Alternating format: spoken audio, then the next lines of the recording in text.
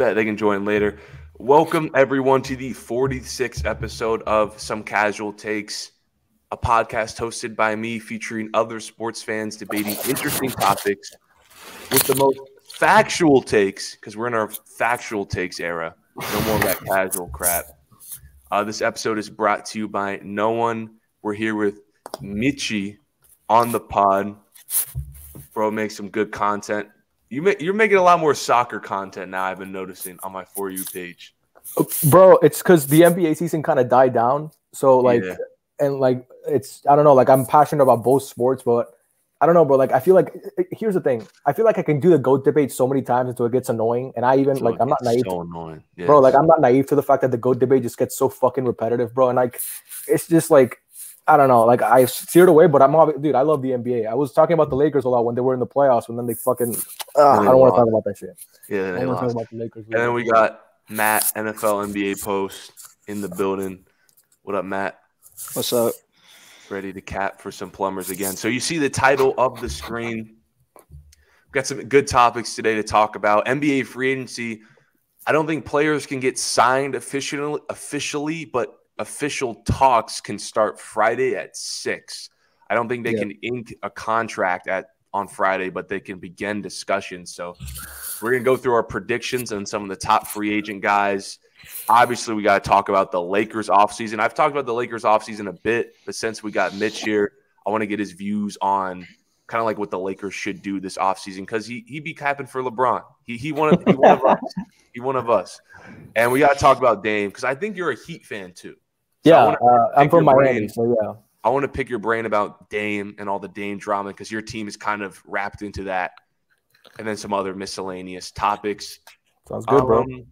But I want to tell you guys who do listen to this podcast, this isn't just a basketball pod. We um, in the football season, we were talking about football, and I talked baseball a little bit on opening weekend.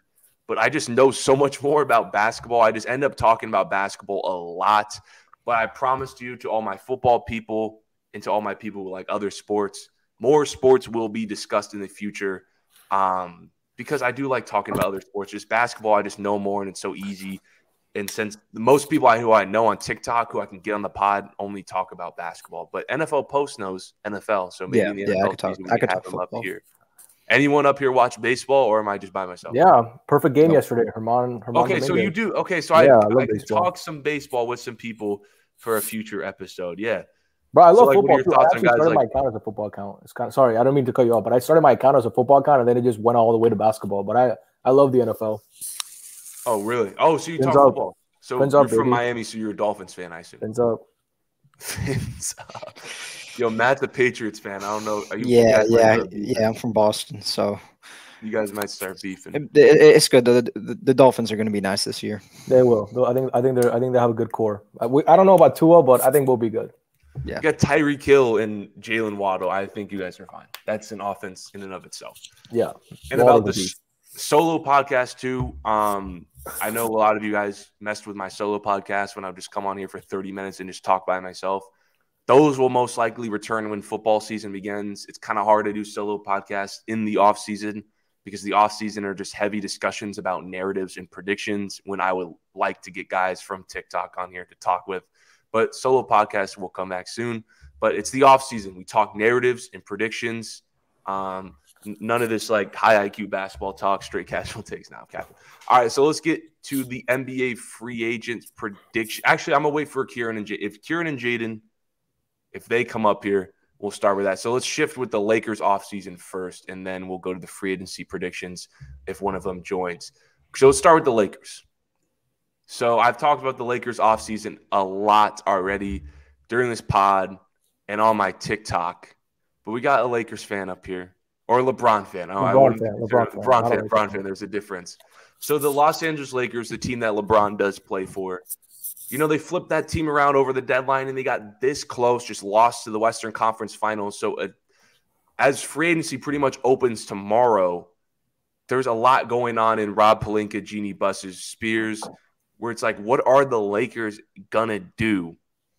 Quit dodging Richaun Holmes' legacy. Okay. Um, so Mitch, I want to ask you, I'm gonna get you started off. So the Lakers, they got they just picked up, I think, Jarred Vanderbilt's option. So they got Jarred Vanderbilt back. They drafted that Hood Schifino dude. Yep.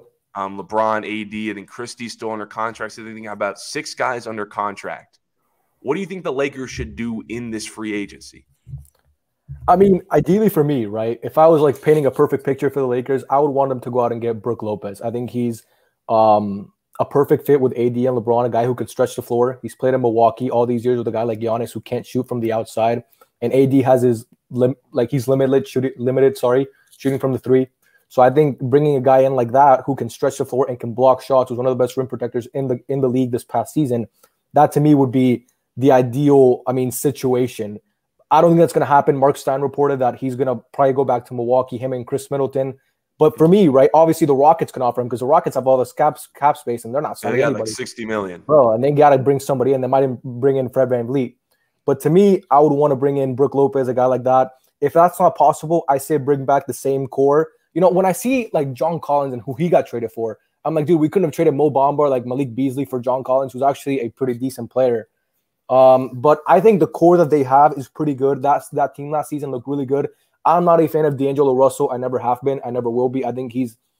I, I mean, dude, the amount of times I saw him in the playoffs shoot a contested mid range and fucking brick it off, I, I, was gonna, I was gonna kill myself. Honestly, it was terrible. But um, I think you know, a guy like Rui Hachimura who showed last season flashes. He was one of the best players in the playoffs for the Lakers. We got a guy like Austin Reaves who came into his own and is gonna is gonna be part of a big three probably. And we got a guy like like LeBron James, who I, th- I still think he's playing at a high level, even in year 20, obviously going to go into year 21. I don't think he's going to be the same player that he was this past season or the year before. Injuries are obviously catching up with him. But for me, ideally, I'd bring back the same core. Tell Jarred Vanderbilt to develop a corner three because he's a liability shooting, and that really fucked them over because that was a guy that didn't have to go, didn't have to guard in the playoffs. The Nuggets weren't even guarding Vanderbilt. He's good defensively, but offensively, he leaves a lot to be desired. So for me, I'd bring back the same core, maybe make some moves around the margins. You know, can you bring? I don't, you can't. You can't bring in Fred VanVleet. He's too expensive. He wants like forty million. That's not going to oh, happen. God. You can bring in a guy maybe like you can bring in a guy maybe like uh I don't know like I don't. It's really it depends. Like because Kyrie Irving, I'm not a Kyrie Irving fan, and I think yeah. I was going to ask you that. What what is your because first of all, wait, I kind of missed something. So you said you're not a fan of D'Lo but you said bring the core back. When you say core, is D'Lo a part of that no, core? No, D'Lo's well? not part of the core. We got to get rid okay, of. Okay, so you're talking about Reaves and Hachimura. Core. Reaves and Hachimura, LeBron and AD, and obviously if okay. we can get Brook Lopez, because dude, the thing about Brook Lopez is we needed a big body in the in the playoffs to when AD was off the court, and we know they were playing Tristan Thompson minutes, who was in the ESPN booth literally a month before, mm-hmm. like, and he actually gave him some pretty good minutes. So I'd actually look to bring Double T back. But a guy like Brook Lopez, you can have a lineup because AD doesn't like playing the five. He's never played the. He doesn't like playing the 5 mm We've heard that and he's actually better as a four in my opinion. Mm-hmm. So if you have oh, a he's, definitely, of, he's definitely better as a four. He's better as a four. So if you have a lineup of Bron at the at the one, you can have AR at the two, you can put Rui at the three, you can have Brook Lopez at the five and AD at the four. That's one of the best defensive units in basketball because Rui I think is a plus defender. He's not a great defender, but I think he's a plus defender. And you're talking about two guys who are elite shot blockers in the league, but probably the two best, him and, and Triple J, obviously. But to me, Brook Lopez makes this team to me would be the title favorites. Obviously, Denver, you got to respect them because they're defending champs. But I think D'Lo getting out of there, you know, getting that money off. Do you maybe pick up Malik Beasley's team option? They have a team option on Malik Beasley, and then use him to trade some pieces around like that. I know I'm rambling on, but for me, it's around the margins moves. If you can get a big guy, not Kyrie Irving, but if you can get a big guy like uh, a Brook Lopez, get him or Fred Van VanVleet. But anything else, I think I think it's a pretty good team, and I think having some continuity going into the offseason is going to make them a lot better. See, I was the one who's pushing for Brook Lopez, and we're going to get into free agency predictions out of everyone in a second. But let's say Brook Lopez, I don't know how realistic he is thinking about it now. And let's say they don't get him. And you're saying don't bring back D'Lo. There's still some money there. So who would you like to add if they don't bring back D'Lo? Because I, I think I saw I was looking at their cap earlier. They would still have a cap to get a solid guy if they don't bring back D'Lo, and they don't get a guy like Brook Lopez. So who would you think the Lakers should get if they don't bring back D'Lo? They don't get a Brook Lopez. The thing is, like, if we're talking about guards, is it? It's a pretty light guard class in free agency. There's not really a lot of good guards out there. So, like to me, right? Who, who are some of the good? No- I'm blanking right now, but who are some of the good notable free agents that are guards? Like we have Kyrie Irving, who's probably going to go back to the Mavs. James um, Harden. James Harden, like he's I'm he- I don't no even think way the the Lakers. Lakers side James Harden. Yeah, There's they're no not. way. Yeah, I'm, yeah, I'm just throwing out names. I mean, there's Russell Westbrook if you want to. Uh, Yeah, Yeah, I mean, we saw how that worked out. Um, yeah, it's a big. You know, I want you know, Chris Paul would have been ideal for me. I think Chris Paul would have been really good for the Lakers. I don't know why they didn't try to get him, especially when we see what the Warriors gave up for you know to get him. You know, Jordan Poole, who's you know he's a good. He's a I'm sure he's a good player. He's gonna have fun in Washington, but he's not. You know, could we have given up maybe Mo Bamba and Malik? Probably not. They they probably would have wanted more, but I don't know what there's guards you can bring in. Like there's other guards like Caris LeVert. Uh, there's like Malik Will Barton, Oh, Josh. Hart, Derrick Rose, guys like that. Collin Sexton's on Uh, Dennis, contract. uh, Dennis Schroeder, you got to run back. I mean, Josh Dennis Hart's Schroeder- solid. Yeah, Josh actually, I forgot about him. Yeah, then there's like Josh Richardson and Bruce Brown, Seth. I, I, I, I, I did see them linked to Bruce Brown though. I did see that. I would love Yo, Bruce imagine Brown. the Lakers get Seth Curry, man. That would be good, dude. I think Seth Curry would be perfect for that. I heard lineup. some I Seth Curry rumors. bro. Because the Uh, thing is, no, the honestly, playoffs- honestly, like it, if the Lakers get Seth Curry, their spacing would be so much better. It'd be yeah, they're ridiculous. facing locks. Um, Like- the I don't know his name, but you know the the Asian shooter from Brooklyn. Oh, uh, Watanabe. Oh, oh, you Yuta Watanabe, yeah. Yeah. He's been linked to the Lakers as well. The Lakers Yeah. have also been linked. to I, I call Bruce him. Brown. You don't want to be in the NBA. That's what I call him. Whenever he misses a shot. Lakers have been also linked to Bruce Brown. So I have to change my Lakers. Last time I talked about the Lakers offseason, I said get Brook Lopez. I don't think it's realistic anymore. no, he's resigning Um, with Bucks. I think. And I My think problem, with, my problem with Brook Lopez, a lot of people want to give him a lot of money, but he's 35 and like this is like his best defensive year, but like the Lakers can't afford him. I don't he think the playing Lakers. with one of the like best defensive Yeah, in the Yeah. NBA. That's my don't think the problem. Lakers can afford him. Yeah, yeah, yeah, yeah. Like I'm not paying that much money to somebody who's uh, like, the, like, like you said, like 33, 35 years old, and is benefiting off of Giannis in his best defensive season. That- when I don't, it's like maybe you can get that caliber of production playing next to Anthony Davis as well. I still, I, I, I, I, I still wouldn't risk it though. It's not going to be like the worst thing in the world if they get Brook Lopez, but I, I don't necessarily. I mean, I think if, Rick- if, if yeah. Brooke Lo- if Brook Lopez is not on the Lakers or let's say the Warriors next season, like I'm not paying him that money. Yeah, I mean, a guy like Clint Capela, you could try and trade for. You know, a lob threat. He's a pretty good Yeah, player. I think. I think the Hawks are trying to get rid of some pieces, but what do you give up for Clint Capela? You know, what can you get? Like, you know what I mean? So Miles Turner would be ideal for me because when I see a guy like Bro Lopez, he's a guy that's similar in the sense that he can stretch the floor and he's a pretty good shot blocker. But dude, what do you have to give up for Miles Turner? He's a decent player in the league, and you're not you can't just get him for for nothing. So I don't think I don't Dude, know how Mi- they get Miles him. Turner has been in trade rumors now for like for- four years. For, Yeah. for- No, the- I- more than that. I'm- it's, I'm it's been being- like since like 2018 that people No, have been I'm talking being about the Pacers might like- trade Miles Turner. Miles Turner has been in trade rumors since his second year in the league, and that Same with John Collins. 14. That's Um, seven years ago. I was reviewing the Lakers cap. Um, if they bring back Reaves and Rui due to their restricted free agent type things, they only have like enough money to bring back a D'Lo level contract. Like I think they only have 15 to 18 million dollars, and that would require them getting rid of Mo Bamba and Malik Beasley. Because if they bring back those two guys under contract, they'll have zero money. What do you think of D'Lo? Can I ask you what you think of D'Lo? He's He's ass. fine. I think, in all honestly, I was a little too harsh on D'Lo because um, even though six points, by the way, in a Western Conference Finals Terrible, bro. bronze tier level player in my team.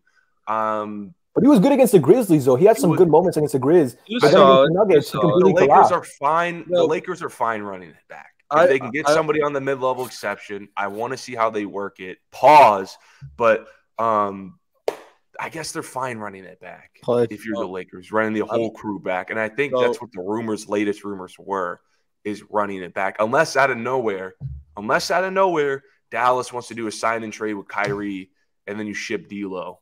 Um, Um, That's what you gotta my, th- my thing about D'Angelo Russell, I literally said the moment that they trade for D'Angelo Russell, I knew they were not going to win the championship just because I know what D'Angelo Russell is. He's never been good in the playoffs. And when he has a moment to shine, he always fucking folds. And that's what happened last year. Yep. Um, but I think Like- we could. No, no, it's, keep going, keep going. unfortunate. it's unfortunate, but like, D'Lo just sucks. Yeah, he's bad. He's bad. He's not like he's just like I told, I was telling them earlier before you joined, I was like, dude, the amount of times I saw him take a contested mid range in the playoffs, and I'm like, dude, the ball just grinds to a halt when it's in his hands. And I don't know why, because he's actually a very decent player. He's actually a pretty good finisher around the rim, and he can, yeah. you know, he has a nice touch. But I don't understand why he's so obsessed with chucking up these shots and they don't go in, and it pisses me off because the Lakers get into this nice role, and then he just. Also, one thing I want to say, and I know I kind of have a reputation for being a LeBron Glazer, and I, I'm okay with that. but bro, one thing I will say, I think I think Bron was was really affected by his foot injury towards the end of last season, and I think if he comes back with a full offseason of being a little bit healthier and maybe can get into that playoff run and that stretch, like not injured and not with like a basically a, a foot that's 50%, I think the Lakers can still, you know, the, the West is just going to get better though, and Denver's just going to get better, and the Grizzlies are probably going to get better. So I don't, the Golden State might get better. I don't know about Chris Paul. I don't know what you guys think. Maybe we can get into that later. I don't think Chris Paul is going to be a good piece for them, but the West is going to keep getting better. But I think that the Lakers if they can, Shooter has to come back to me. I think he was one of the best players yeah. in the playoffs for them. Really good defensively, you know, can guard, can guard the perimeter, and is also he can make some shots. He misses a lot of them, but he can make some shots. So for me, if, if that all happens, I think the Lakers will be good to go. And it's it's on Rob Pelinka now. We will see yeah, what he does. I think if you're the Lakers, I would just honestly run it back with everybody. Get a bunch of vet minimum guys, low in contract guys to fill the rest of the roster who can shoot, who have size, especially guys on the wing Troy Brown minutes. We'll see you later. Um, get better shooters than that. Guys who won't disappear in the postseason. Um, floor spacers. Get a backup, a real big man with Anthony Davis. Now I don't know who their starting five will be on this team. Wenyen Gabriel. I don't because Naz Reid's gone. Brook Lopez might be a little unrealistic now. I don't know who that center is going to be to run Anthony Davis at the four. But um, I got to bring back Thomas Bryant. My one thing about my one thing about LeBron stop. My one thing about LeBron is that he's 38 years old, and once he gets the surgery, like, like I feel like people just assume that he's going to be like the super, like, absolute monster that he was, like, even before the injury. I'm not, I'm not really sure about that, and that's why, just because why, he's, Kieran, he's 39 years old. That's why, Kieran, this is the one of the most important off seasons in Lakers history, because if they mess this up Mm-hmm. Like if they don't go back, if they don't go to a final, let alone like at least get back to a Western Conference Finals, LeBron's year 21 gonna go play with Bronny this next season. Yeah, he's gonna go to Atlanta. Another year of injury, and the team you have you're left with a team that can't win. Yeah, this is probably one of the most important off seasons in Lakers history. Now I want to ask this question. Now it's a little bit more of a let's say the Lakers do have a pretty good off season. Um, I actually, I'm actually curious if Bruce Brown becomes a Laker, but let's say they actually do have a pretty good off season. So good that they go to an NBA Finals and win the whole thing. Mitchy. Yes, sir. What would a ring in year 21 do for LeBron's legacy? I already know you think LeBron's the GOAT. I know it's set in stone for you. But let's be a little bit more objective here and think of to like a wider range audience. So if LeBron James would win a ring in year 21, what would that mean for his legacy? I just want to say, by the way, to everybody on here, um, I know on my TikTok I kind of come across as this uh, condescending and kind of an ass sometimes. I don't like when I'm doing long form content like this. I'm not like that. I can't be objective about LeBron, and I can't speak about him in an objective way. Look, for me, obviously, there's obviously going to be the conversation LeBron, Michael Jordan. I think LeBron's the go. I think his longevity and his consistency has proven that to me. And I think when you see the teams, obviously people talk about the weak East, you know, that's a real point. But I think LeBron James is the best carrier of talent in NBA history that I've ever seen, right? Um, I'm a guy, this is going to shock you guys. I swear on my mom, handle the Bible. I'm not even religious, but handle the Bible. I've missed five LeBron playoff James LeBron James playoff games since 2012. Five. I've only missed ever five. I can Bro, and I can recall them. them. Bro, yeah, count them. I can recall them. So to Not me, a true LeBron fan. What to me, to me, LeBron, to me, fan. LeBron, like least least glazing LeBron fan right here. To me, LeBron, what he what he can gain is you know cementing himself to me as the goal, winning a title in year twenty in, in year twenty one, and if he's the best player, if he wins Finals MVP, you're talking about a longevity that we've never seen before. And you know, Kareem did it, but Kareem was over the hill. You know, he wasn't really that great. He did it with Magic, but you know, it's he was in a he was in a different stage of his career. I think LeBron James, if he wins the title this year, depending how he plays, obviously we got to see how he plays. If he's a yeah. sixth man, it doesn't matter. big thing. But I think if he can average his usual his usual 27, 7, and 7 or whatever, and they beat up Celtics or Bucks in the final, or maybe whatever other team, the Heat. I think that just, I mean, you're looking at a guy who for 20 years he's been an All NBA player. Nine, I think 17 of those 20 years. So to, for the voters, he's been one of the 15 best players in the league for 20 years, plus having five championships. The finals losses are still going to be there. Those are never going to go away. But when you see when you see that longevity, I think it's hard to argue anybody else is better. Obviously, Jordan had the peak, but when you look at LeBron early in his career, especially early in Cleveland in 08 all the way to 2014, you're looking at one of the best, probably the second, the best peak to me in NBA history. 2013 to me is the best season ever. You can argue Jordan 88, Jordan 96. It's all part of the conversation. But we're looking when we're looking at LeBron James and the, the stretches that he had, I think it's pretty undeniable. He wins a title. He wins his fifth title in year 21, and you can't use the excuse of the bubble because obviously, God willing, there's not another pandemic.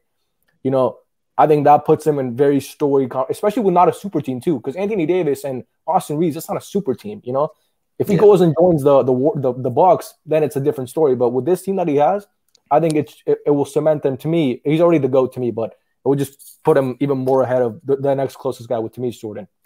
So um, I have Michael Jordan as a go, and I don't really care if you have LeBron at two or like or LeBron at one. Um, my thing is about like I've always been like a peak over longevity guy because I would take you at your absolute best over like a guy who's like been dominant for like way longer just because like I I feel like I feel like your best is more important. But like now if like LeBron plays like well like like in another playoff run and he wins the championship, it's going to be even hard for me to say MJ is the GOAT because he's done like he's been dominant for so long. So like if we're going by like best player all the time, I would say like Jordan. But like if I'm like, oh, is like is LeBron the GOAT like because of his longevity? Like maybe. Like I I would be open to that conversation. I uh, mean, you that. guys know I do, like I don't do the goat debate, but I would just be there for because the tensions will be at an all time fucking high in in the goat debate, and well, and I could guarantee, and that's and that's why Twitter, I that, NBA Twitter that summer would be the funniest yeah. thing ever. LeBron can hoist up your twenty one championship. Okay, I will say this: if LeBron James wins Finals MVP like playing like Cedric Maxwell, I'm like, all right, like no. Right. Yeah. Right. Well, well, well, that's that's the other thing is that I feel like at this point in time, Anthony Davis is better than LeBron, and I feel like and like let's just let's just say hypothetically, like LeBron's doing his thing, and then Anthony Davis is doing his thing, and it's kind of looking like this past season where Anthony Davis is the better player, but they gave LeBron the Finals MVP just based off the fact that he played good and it's uh, name value. I feel like that could be a little uh, uh misleading when, when you say like, okay, well, who's the best player in that series? I will say though, I don't think you can get a Cedric Maxwell MVP in 2024. You're not going to get a Cedric Maxwell MVP oh, ever again. No, you're not because just how stats are today, I don't think. Yeah. Okay. We've been talking about LeBron, the Lakers, too long. I want to get to the free agency predictions, but before we move off this, uh, we're going to do a little summary. I'm going to go around and ask you guys. Obviously, Austin Reaves and Rui Hachimura are like the number one targets for the Lakers in the offseason. But other than those guys, who should be the Lakers' number one target this offseason? Then you guys just tell me really quickly, like, who do you guys think the Lakers' number one target should be? And just give like a quick analysis, like two seconds. Are we talking just trade or just are we talking trade too or just free agency? Um, if you think you can make a realistic trade, you can. I would mostly stick to free agency. Who's on the free agent board? Christian Wood's a free agent right now. I wonder what he's going to demand in the market. You know, like I think he's I think he's projected twelve million dollars. Twelve million, not much. I think Christian Wood's value went down because I think he's projected twelve million dollars. Last time I checked, I don't know why he was riding the bench though for Dallas. He was really productive in the minutes he played. I mean, he played like 26 minutes a game, was scoring like 16 points. Danny. Well, like, well, Jason, well, Jason Kidd's like defensive scheme. Like he's more of a defensive guy. So like if yeah. you're not a defensive guy, you're kind of fucked. So. Yeah, Christian Wood's a liability. Uh, on, uh, Lakers should maybe you're saying the Lakers should maybe target Christian Wood. Maybe, or I would want I would want Seth Curry too. If we can get Seth Curry, go get Seth Curry. But I don't think he, he's on a. Is he? You can get Seth Curry. Uh, I would get he's Seth Curry. Cheap. He's going to be cheap. He's, he's cheap. Under, oh yeah, yeah. He's going to be a, like a minimum guy. Unrestricted, but he has bird rights. So yeah, so that's the mm, problem. Okay, bird rights. Uh, okay. So to me, uh, a good, Brooklyn runs a good, it back, it's gonna be easy. A good big to back up AD and uh, maybe another shooting option like a Seth Curry. So that would be my. Oh, oh, I was gonna say maybe um he's not a. Uh, let me see his contract, but I was gonna say Daniel uh, Lang, um, Gafford from Washington he could be a good option too to bring him in because I think Washington's looking okay. to move him. All right, Kieran, number one target for the Lakers in free agency. Talks begin um, Friday at six. I think I think they should either go for Seth Curry or Bruce Brown. Um, I think those two guys can help with their floor spacing, and like Bruce Brown, Bruce Brown can do a little bit of everything. He can play defense, he can pass, he can shoot. Like I'm not saying like he's like oh he can be another playmaker, but like he can like he can do it a little bit. Like he was very impactful. I think yeah. he was the most underrated reason why they swept the Lakers. And yep. he has non-bird rights, so he he can be like you know. And he's not going to be particularly expensive. I think he's going to get yeah. like about twelve million dollars, twelve to fifteen million dollars this offseason. Yeah, the Lakers bad. can afford that. That'll be a pretty solid piece. But what about you, Matt? Before we move on. I think the guy that the Lakers should target more than anybody is Dario Sar. No, I'm kidding. All right, I think that they, I, I think the two guys that they should look to get for the most is between Bruce Brown, uh, pretty much what you what y'all just said. Like he can do everything, and it's not really going to be that cheap, uh, or that expensive. Uh, another guy that I would actually look at for the Lakers is Jakob Poeltl, who I have heard is probably going to leave Toronto because Poeltl doesn't want to be in some rebuilding situation, a little bit like Nick Nurse left because of the same reason. Uh, but Poeltl is a guy you could put him right in at the five, and he could uh, be a rim protector and just a so- solid pick and roll guy. And then you can move AD to his natural position at the four, and I think that would be a that, that would that would be a less expensive signing than Brook Lopez. Um, and I think it I think it would work really well. Nice. Get AD at the four. They won the championship yeah. that way. They had their That's best like runs that way. Or you okay. could just bring back Dwight Howard from Taiwan. No, not a bad option, honestly. Honestly, not no, a bad. He's forty, dude. no, no, no, no, no, no, dude, no, I just saw a bunch of people dude, in my comment dude. section say they have the Dwight Howard. They're winning games. I'm like, no, no. Like Bro, he's literally the last 39. He barely oh got wins God. in the Taiwan League, and now you guys are trying to say come to the Lakers and do all that. What about Demarcus Cousins? Uh, panel yeah. elite. Yeah, My favorite. Miss no got my guy Crunch time in here. What's up, bro? oh man, what's up, guys? Is this is a good panel? We're ready to go. yeah. What's up, man? What up, Crunch? Crunch, just in time, bro, because we are about to do our NBA free agent predictions, and the number two guy on the board is your favorite player, not Kobe, uh, Kyrie Irving. Oh, Kyrie's a free agent. Yes. Is Kobe go- is Kobe going anywhere? God damn, bro. No, I thought he was locked in with Dallas.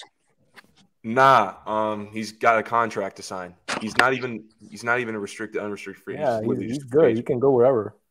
He's got a contract to sign. So let's first start with before we get to Kyrie, let's start with James Harden. Now, James Harden does have a player option. He hasn't even declined or accepted it yet. And it's kind of gripping the 76ers by the balls here. They don't know what Harden's going to do. Is he going to opt in, opt out? Of course, if he opts out, he's probably going to look for a better contract. Where do you what do you guys think he what do you guys think Harden does? Does he opt in, opt out? And if he opts out, is he still a Sixer or is he going elsewhere? I don't know what, what what options he has. You know, like to me, I look at James Harden as a guy who had a pretty good season this year. Could have been All NBA, arguably. Uh, led the league in assists. I'm pretty sure, if I'm not mistaken. You guys can correct me if I'm yeah, wrong. he did. He did. Um, so I see, like, but in the playoffs, he actually played pretty well, bro. Like, I see the two games against. He got two games against the Celtics where he was decent. But James Harden is always going to be a guy that's going to have limitations, and I think that he should stay with seventy. He should stay with Philadelphia. Him and Daryl Morey have a relationship. They were in Houston together. They know each other. You know, maybe if you can get another piece, but if he opts out, what's the option? Houston again? What are you going to go do in Houston? There's, they're full of young players who need to get playing time, and you're probably going to stunt their growth. And what, what what's the other option? What other teams have cap space? Detroit? He's not going to go live in Detroit. You know what I mean? So to me, James Harden, the best option he has is to re-sign with the 76ers because I think that's where he's I mean, he's, he's looked pretty good the two years he's been there. So I would I would look to keep him. But if he goes if he goes somewhere else, it'd be kind of odd to me because I don't know what other team could use him. Good. What does anyone else think? We're doing NBA free agent prediction. All right. All right. Talking James Here's Harden first. Matt, yeah, my, James Harden, my, my, where do you think he's landing? Yeah, my thoughts about where James Harden's going here's my take about how him and his management went about this whole thing because we've been talking about this since the Sixers uh, got bounced. The thing is, is that James Harden had like four good games in that in the playoffs, and if he and if he wasn't good, he was either mid or he was putting up tour date shooting stats. Now, now here's the thing: I, I can guarantee you his agency was telling him like you're a free agent this year, you're gonna want to get paid, and you're really gonna want to like like get the most, and you're not playing well. So this whole James Harden to Houston thing came in as this big smokescreen to bring Daryl Morey into panic mode because he said he is not about to go back to where I used to be the general manager. He's not going back there, and now that like like you said, this player option is now really like he's like, he's grabbing them by the balls, and like that's just the reality of it. He's gonna get like a thirty-five million dollar contract by the Sixers. I wouldn't I wouldn't give it to him, but that's just kind of what's happening. That like that whole thing about Houston, that's a smokescreen. He's going back to Philly. Yeah, I think he's going back to Philly too. But I did hear that the Clippers are like looking at Harden right now. They can't, hmm. I don't think they can afford him. Yeah, they can't even pay Russ. I mean, like I thought they were going to trade PG. if Oh, the shit. Clippers, Uh, if they if they trade Paul George, then yeah, I, Yeah, I, that I is wouldn't trade Paul George trade. for James Harden. if the Clippers trade Yeah. Paul, Paul George, Harden, He's a Kawhi, Cav. I actually would like that. I'm not gonna lie, I would. Like Paul that. George is a Cav by the end of the week. I like But my Harden and problem- Kawhi though. The problem with Harden and like Paul, like Kawhi, is that you could just you just got two old injury prone players. Like Yeah. I mean, Jerry West Harden, told him to ham- his face. Harden in hamstring, Kawhi knee. You're three games in the postseason. You have none of your stars. Jerry West is Jerry West is going to be in like hospice care in five weeks. I don't really know what he's doing. Matt, I thought you like those type of players, bro. No, I love Jerry West, but I, I don't understand how this guy's still alive. That's yeah, the how is he still? How is he still running a team too? He's like a It's not, not only is he still alive, he's still doing something. Matt, Yeah. your- Matt, Matt, your grandfather's still alive, Bob Cousy. My grandfather's not Bob Cousy. It is, bro. Oh, he had that Boston, beef with JJ way. Redick on the radio, right? He's called out JJ Redick for calling him a plumber and shit. Bob Cousy. Yeah, Yeah, he had that whole thing. I love yeah, I that. remember I love that. All right, so Crunch, you where do you think James Harden goes? I mean, I think he's going back to Philly though. I really do. respect. Mr. Kieran, Uh, where does Mr. titties over titles go? Huh? Wait, That's what? what Ticket TV likes to call James Harden. Titties over Um, titles. Uh, I think Titties man himself is staying in Philly. Okay, cool. All right, nice. So we all believe James Harden. Although Houston seems like a tempting place, they got that 60 mil. We kind of just feel like it's just a whole leverage thing. Okay. Um Kyrie Irving. Mm. Mm. Mm. Crunch, Mm. Kyrie. I, I want to see him go somewhere like Miami, you know, or like I mean, I guess he could try LA. I don't think it will work out in LA though. I don't think it will work out in LA. No. I really don't. No, Um, keep, keep Kyrie away from Miami and LA. Tell him to go to the Clippers. That's No. Mitch's two favorite teams right there, man. Keep, The keep Kyrie sounding, away. like the way it's sounding, he may go back to Dallas. I think he will. I think he will Yeah. too. Um, I mean, if Dallas if Dallas gives up all those all, all that capital, sorry, I didn't mean to cut you off, Steve, but if, he, co- if they if they give up all that capital and they still don't bring him back, that's a failure by Mark Cuban because you you were the fourth seed before you bring this guy in. Then your season you collapse, and then you j- he just leaves for nothing. That Yeah. that's gonna suck. That's gonna then stink you're for him. stuck with Luka, Tim Hardaway Jr., no bench. That's like a 30 win team. Like Maxi Kleber. It's a No. WNBA team. No, it's Yeah. it's fun. It's funny because like you trade for Kyrie Irving and then like you only play 16 games with Luka, and they're like, And Oh, Christian yeah. Wood's I got you. probably gone unless you overpay him because I don't know if Christian Wood's gonna like his PT. It's No. like you you said it earlier. Like there'll be games where Christian Wood six man of the year getting 25 minutes, and the next game he's getting like six, and he kind of fizzled out of the rotation when Kyrie kind of Yep. got there. I think I I'm like- jinxed the Mavericks, bro. I picked them to win the whole championship.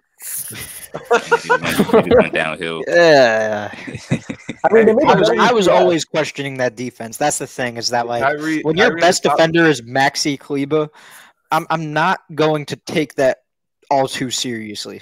Yeah, I mean, they were Kyrie the got a top 10 peak in the current NBA. let guys say Kyrie's the best defender, but anyway. I just really think I just really think Luka's ceiling is so high. Like I think he can be the best player in the league. Yep, 100. percent I agree with Yeah. that. 100%. My thing, about, my That- thing about that's more so Luka- what I was like, like the reason why I was picking him.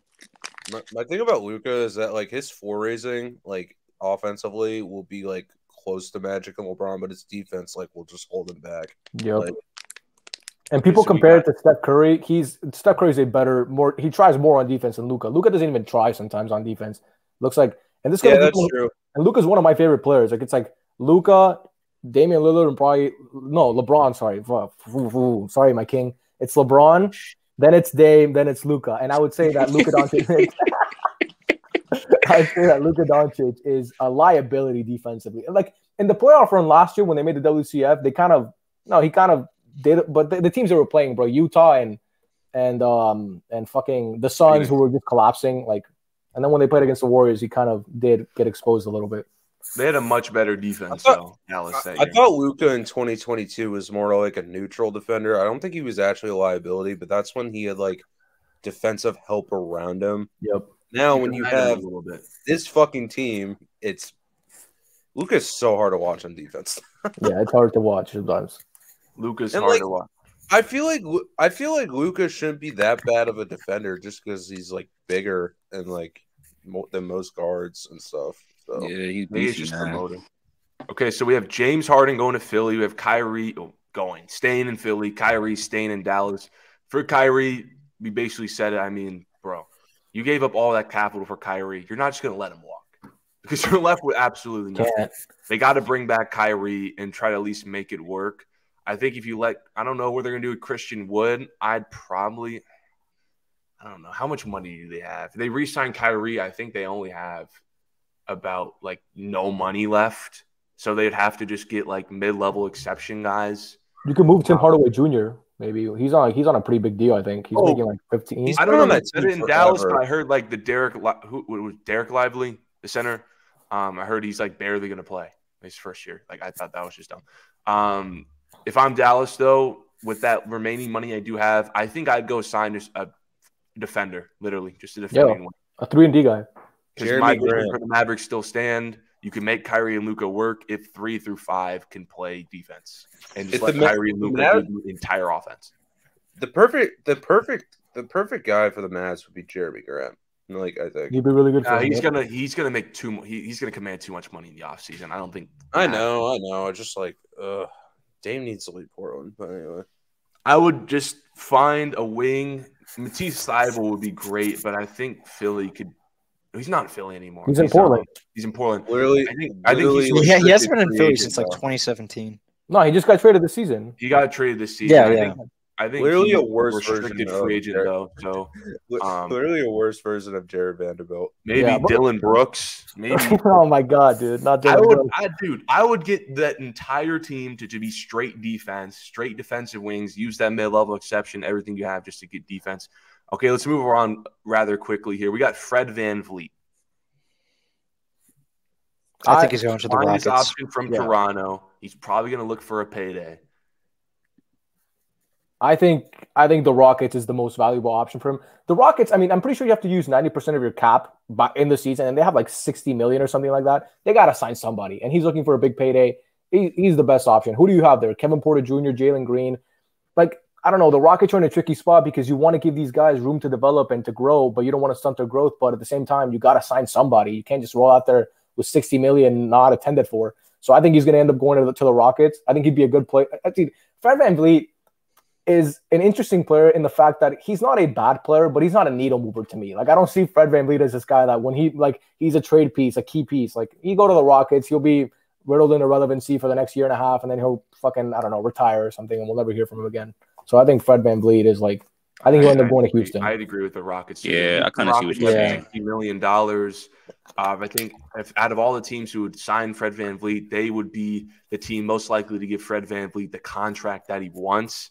I think Fred Van VanVleet might be trying to get 30 to 35 million this offseason. I heard I 40, bro. I heard 40. I know. I think that's what that's why he declined his option because I think he can think he truly believes that he can go on the market and get 30 to 35 million. I think he's more of a 25 to 20 to 30 million guy not a 30 to 35 million guy. Definitely not 40. Oh my God.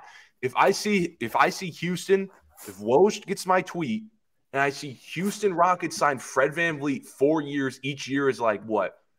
38 40 million dollars i'm going to explode and that might be the worst contract in nba history yeah that'd be a bad contract i think he shoots like below 40% i mean um, he can hoop i don't think his prime yeah. is going to be that long so I, I, I think his prime's over. Like, yeah, I think he's past his prime already. I think he's already over. I think he's like thirty. Huh? Oh, he's thirty. Yeah, he's like Yeah, yeah, yeah, yeah. Because I think he might have spent all four years in college. I might be wrong though. And then he had those few years. I think he was in the G League. Yeah, he was in and out. He was undrafted, Yeah, right? bro, if I'm not I mean, listen, mistaken. yeah. Yeah, yeah, yeah. He was G yeah undrafted. Yeah, bro. It's all downhill from here, bro. He was born in '94. He's he's 29 years old. Grunt says it's all downhill from here.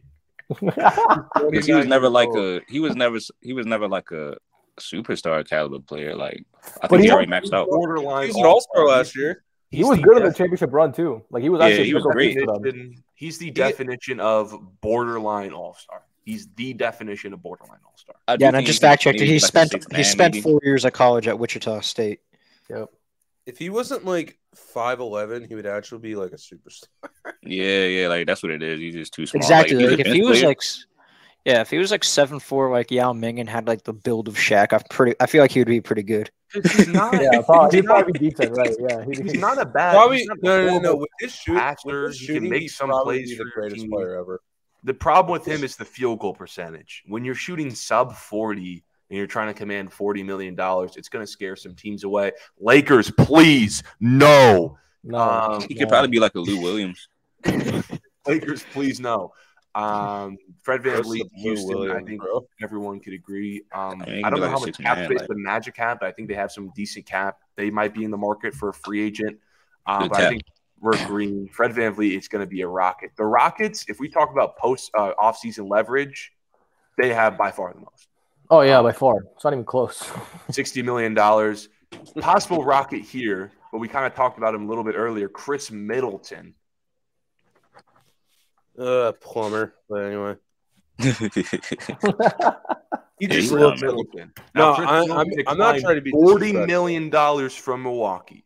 So it seems like I don't know if he. I don't think he's in it truly for the money. So think about it like that. Declines think- forty mil. I don't think he's in it for the money. I think he's just looking for, for just a better, safer contract. That's what it Maybe- is. Maybe take lesser money to run it back with Milwaukee. I think the signs are pointing that he comes back to Milwaukee. What, do, what about you guys? Do you guys have anything different than Milwaukee? No, I Mm. think he's staying. I think Marc Stein reported that Milwaukee's probably going to bring him and Brook Lopez back. I think he was just looking for a longer term deal. Um, I'd love him on the Lakers, you know, but they can't afford him. And what other team? Like, you know, like can he go to maybe Miami? I don't think. I don't think the Heat can afford him either. So uh, I'm kind of being biased here to my teams, but I really. What, what else? Like, like what other teams have cap space? The thing about this offseason, there's like eight teams with real cap space, and everybody else is just kind of in the in, in nowhere land. Yeah. Like, like there's really not many teams that can sign players. So I think Khris Middleton's just looking for a longer term deal, to me at least. But I, I see him staying in Milwaukee. The Well, it's also- Supermaxes it's also- are doing the worst things. to Yeah. everyone. Well, There's- there's a reason why like most of these teams like don't have cap is because like they already signed like most of their players. So Yep. That's why And that's why this NBA free money agency is growing lot way weaker too than like fast. Also, bro, that new that new CBA is legit. And the second apron, once that second apron hits, bro, teams are gonna have to like you're gonna be losing You're mid level cooked. You're exceptions. cooked. You're in They're- they're poverty fucked. It's a real thing. hits. No, Yo, but like Chris- I think it's kind of Chris- funny that Grant Williams was doing the CBA talks. Um, No, Is but for real? yeah, uh, uh, because I'm pretty sure Grant Williams uh, is Grant Williams like the president of the Players Association or I something. think he's vice president. I think he's No vice yeah, vice way. president. Of the Players Association. no, no, no. But when I Grant see, Williams. All right, next. when I see Khris when I see Khris Middleton, he just looks like a player for the Sixties that Matt would adore. Yeah, he looks like Nate Thurmond. He does not look like Nate. Okay, okay, no, no, no. He does not look like Nate Thurmond. Nate Thurmond, bit, Thurman. bro. Nate Uh, Thurman was jacked at 25 years old. You could look up the pictures. This man's wearing a chain while he's playing basketball. He's nothing like Khris Middleton. Khris Middleton is going to run it back with the Milwaukee Bucks. Now, this is a guy who I think is going to run it back with his team on just on the far lesser deal. Please, no Lakers. Draymond No, Green. no Lakers. if you guys get Draymond Green, you guys are fucked. No, no, no. He's not Yeah, a bro. Laker. I'm Dr- Bro, Draymond and LeBron in the locker room is going to be like five months every, is gonna every go day. out the window. They traded the dude. He traded the he traded the Michigan kid that he was beefing with and punched over the offseason. He's going to come back on a lesser deal. I think Golden State understands that throughout their entire dynasty, they win the most when he is in the lineup, although he's declining. I think Draymond Green understands that and will take a lesser deal and come back and be a warrior. No, I'm just, I'm just saying if the if, if the Lakers get Draymond, I see a purple and gold jersey crossover one more time. I'm going to explode. uh, Draymond Green Anthony Davis, Jarred Vanderbilt, all time great four spacer, by the way. Jarred yeah, Vanderbilt is literally just the worst version of Draymond Green. Yeah, he's he's terrible. And he can't even play make like Draymond Green. I, I think Draymond Green, like if people were talking about Sacramento, I don't like Draymond Green is an all-time player. P- people who don't see the value in him, I don't understand it. He's obviously a valuable player for a championship team. To me, he's one of the best, you know, passing forwards in the game has ever seen. He's a great playmaker too. But uh, like, dude, Chris Paul and Draymond Green on the same team, it's kind of like it's redundant. They kind of do the same shit. Not really because Draymond Green has a defensive element, and he's had that clip talking shit about how he hates CP. So that was kind of weird too. I don't know how that's gonna vibe, but I think Draymond Green is he needs to go back to the Warriors. I think uh, you got to give it one more shot with this core. I would get rid of Klay Thompson if you can. I don't think Klay Thompson's a player that I needs to be. the next year thing. Uh, exactly, but this year you could probably get some good pieces for him, and you know he wants a max deal, which is insane. If Klay Thompson thinks he's getting a max, that's ridiculous. I don't know where he's getting that the information only, from. The only max Klay Thompson's going to get is that new streaming service called Max. Um, you said Sacramento. I heard the Sacramento rumors. That would be the biggest mid front court ever of Domantas Sabonis and Draymond Green. Yeah, that'd be I, terrible. And Harrison that, Barnes, like no, no, no, no. Harrison Barnes, Sabonis Draymond front court is the biggest mid front court in NBA history. Um, if, if Draymond goes to Sacramento, that would be the biggest like like that. That would be so ironic because I don't know if y'all heard, but when Jordan Poole got punched by Draymond, it's because Jordan Poole said something to him like you're going to be playing in Sacramento next true? year. Were those true? I I heard about those. Were I those heard about true? it too, but if it's true, that would just be ironic. Yeah, that'd Were be those crazy. Comments true. Uh, I don't know, probably not. But dude, like he must have said some shit to him because to deck a motherfucker like that in the mouth, like ah, you got to say some different type of shit. But Draymond's like, didn't he punch some kid at Michigan State too? Like he's known for like he loves he loves getting into a good brawl, bro. I don't know. Yeah.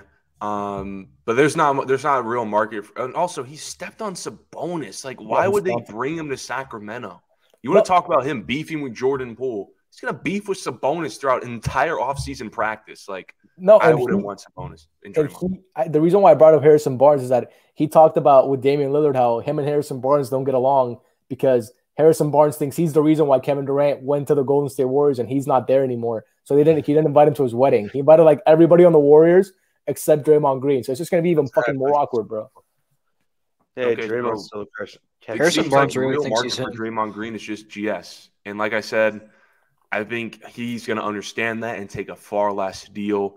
If you're Houston, if you're like I heard San Antonio, if you're a young team, like why, like why would Houston give up some money for Draymond?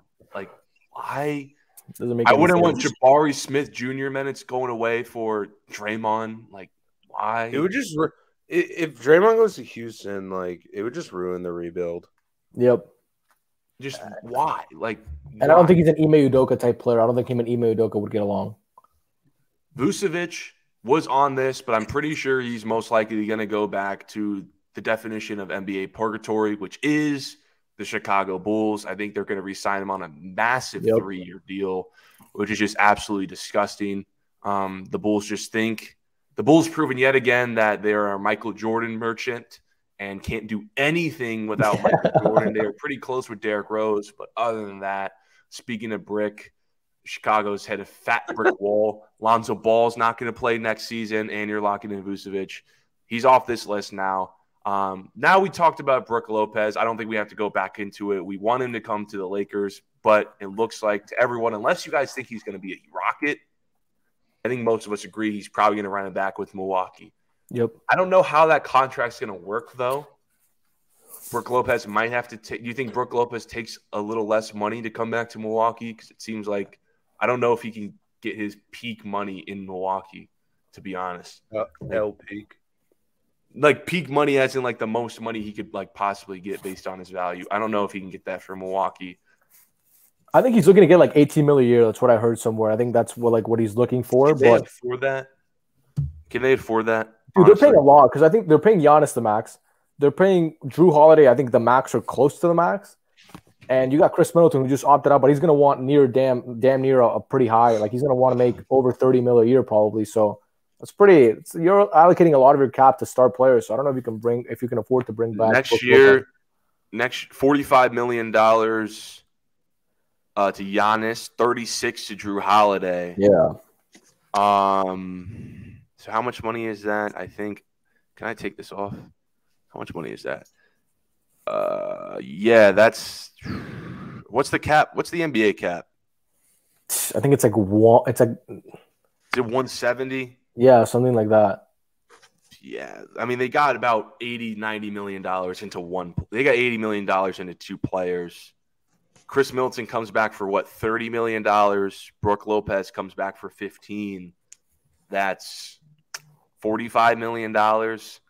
I don't know how they're gonna aff- afford that, but I'd say Brook Lopez most likely wants to go back to Milwaukee. But if but if if Milwaukee can't get the contract situation figured out, I'd say he's a Houston Rocket if they can't figure out the money.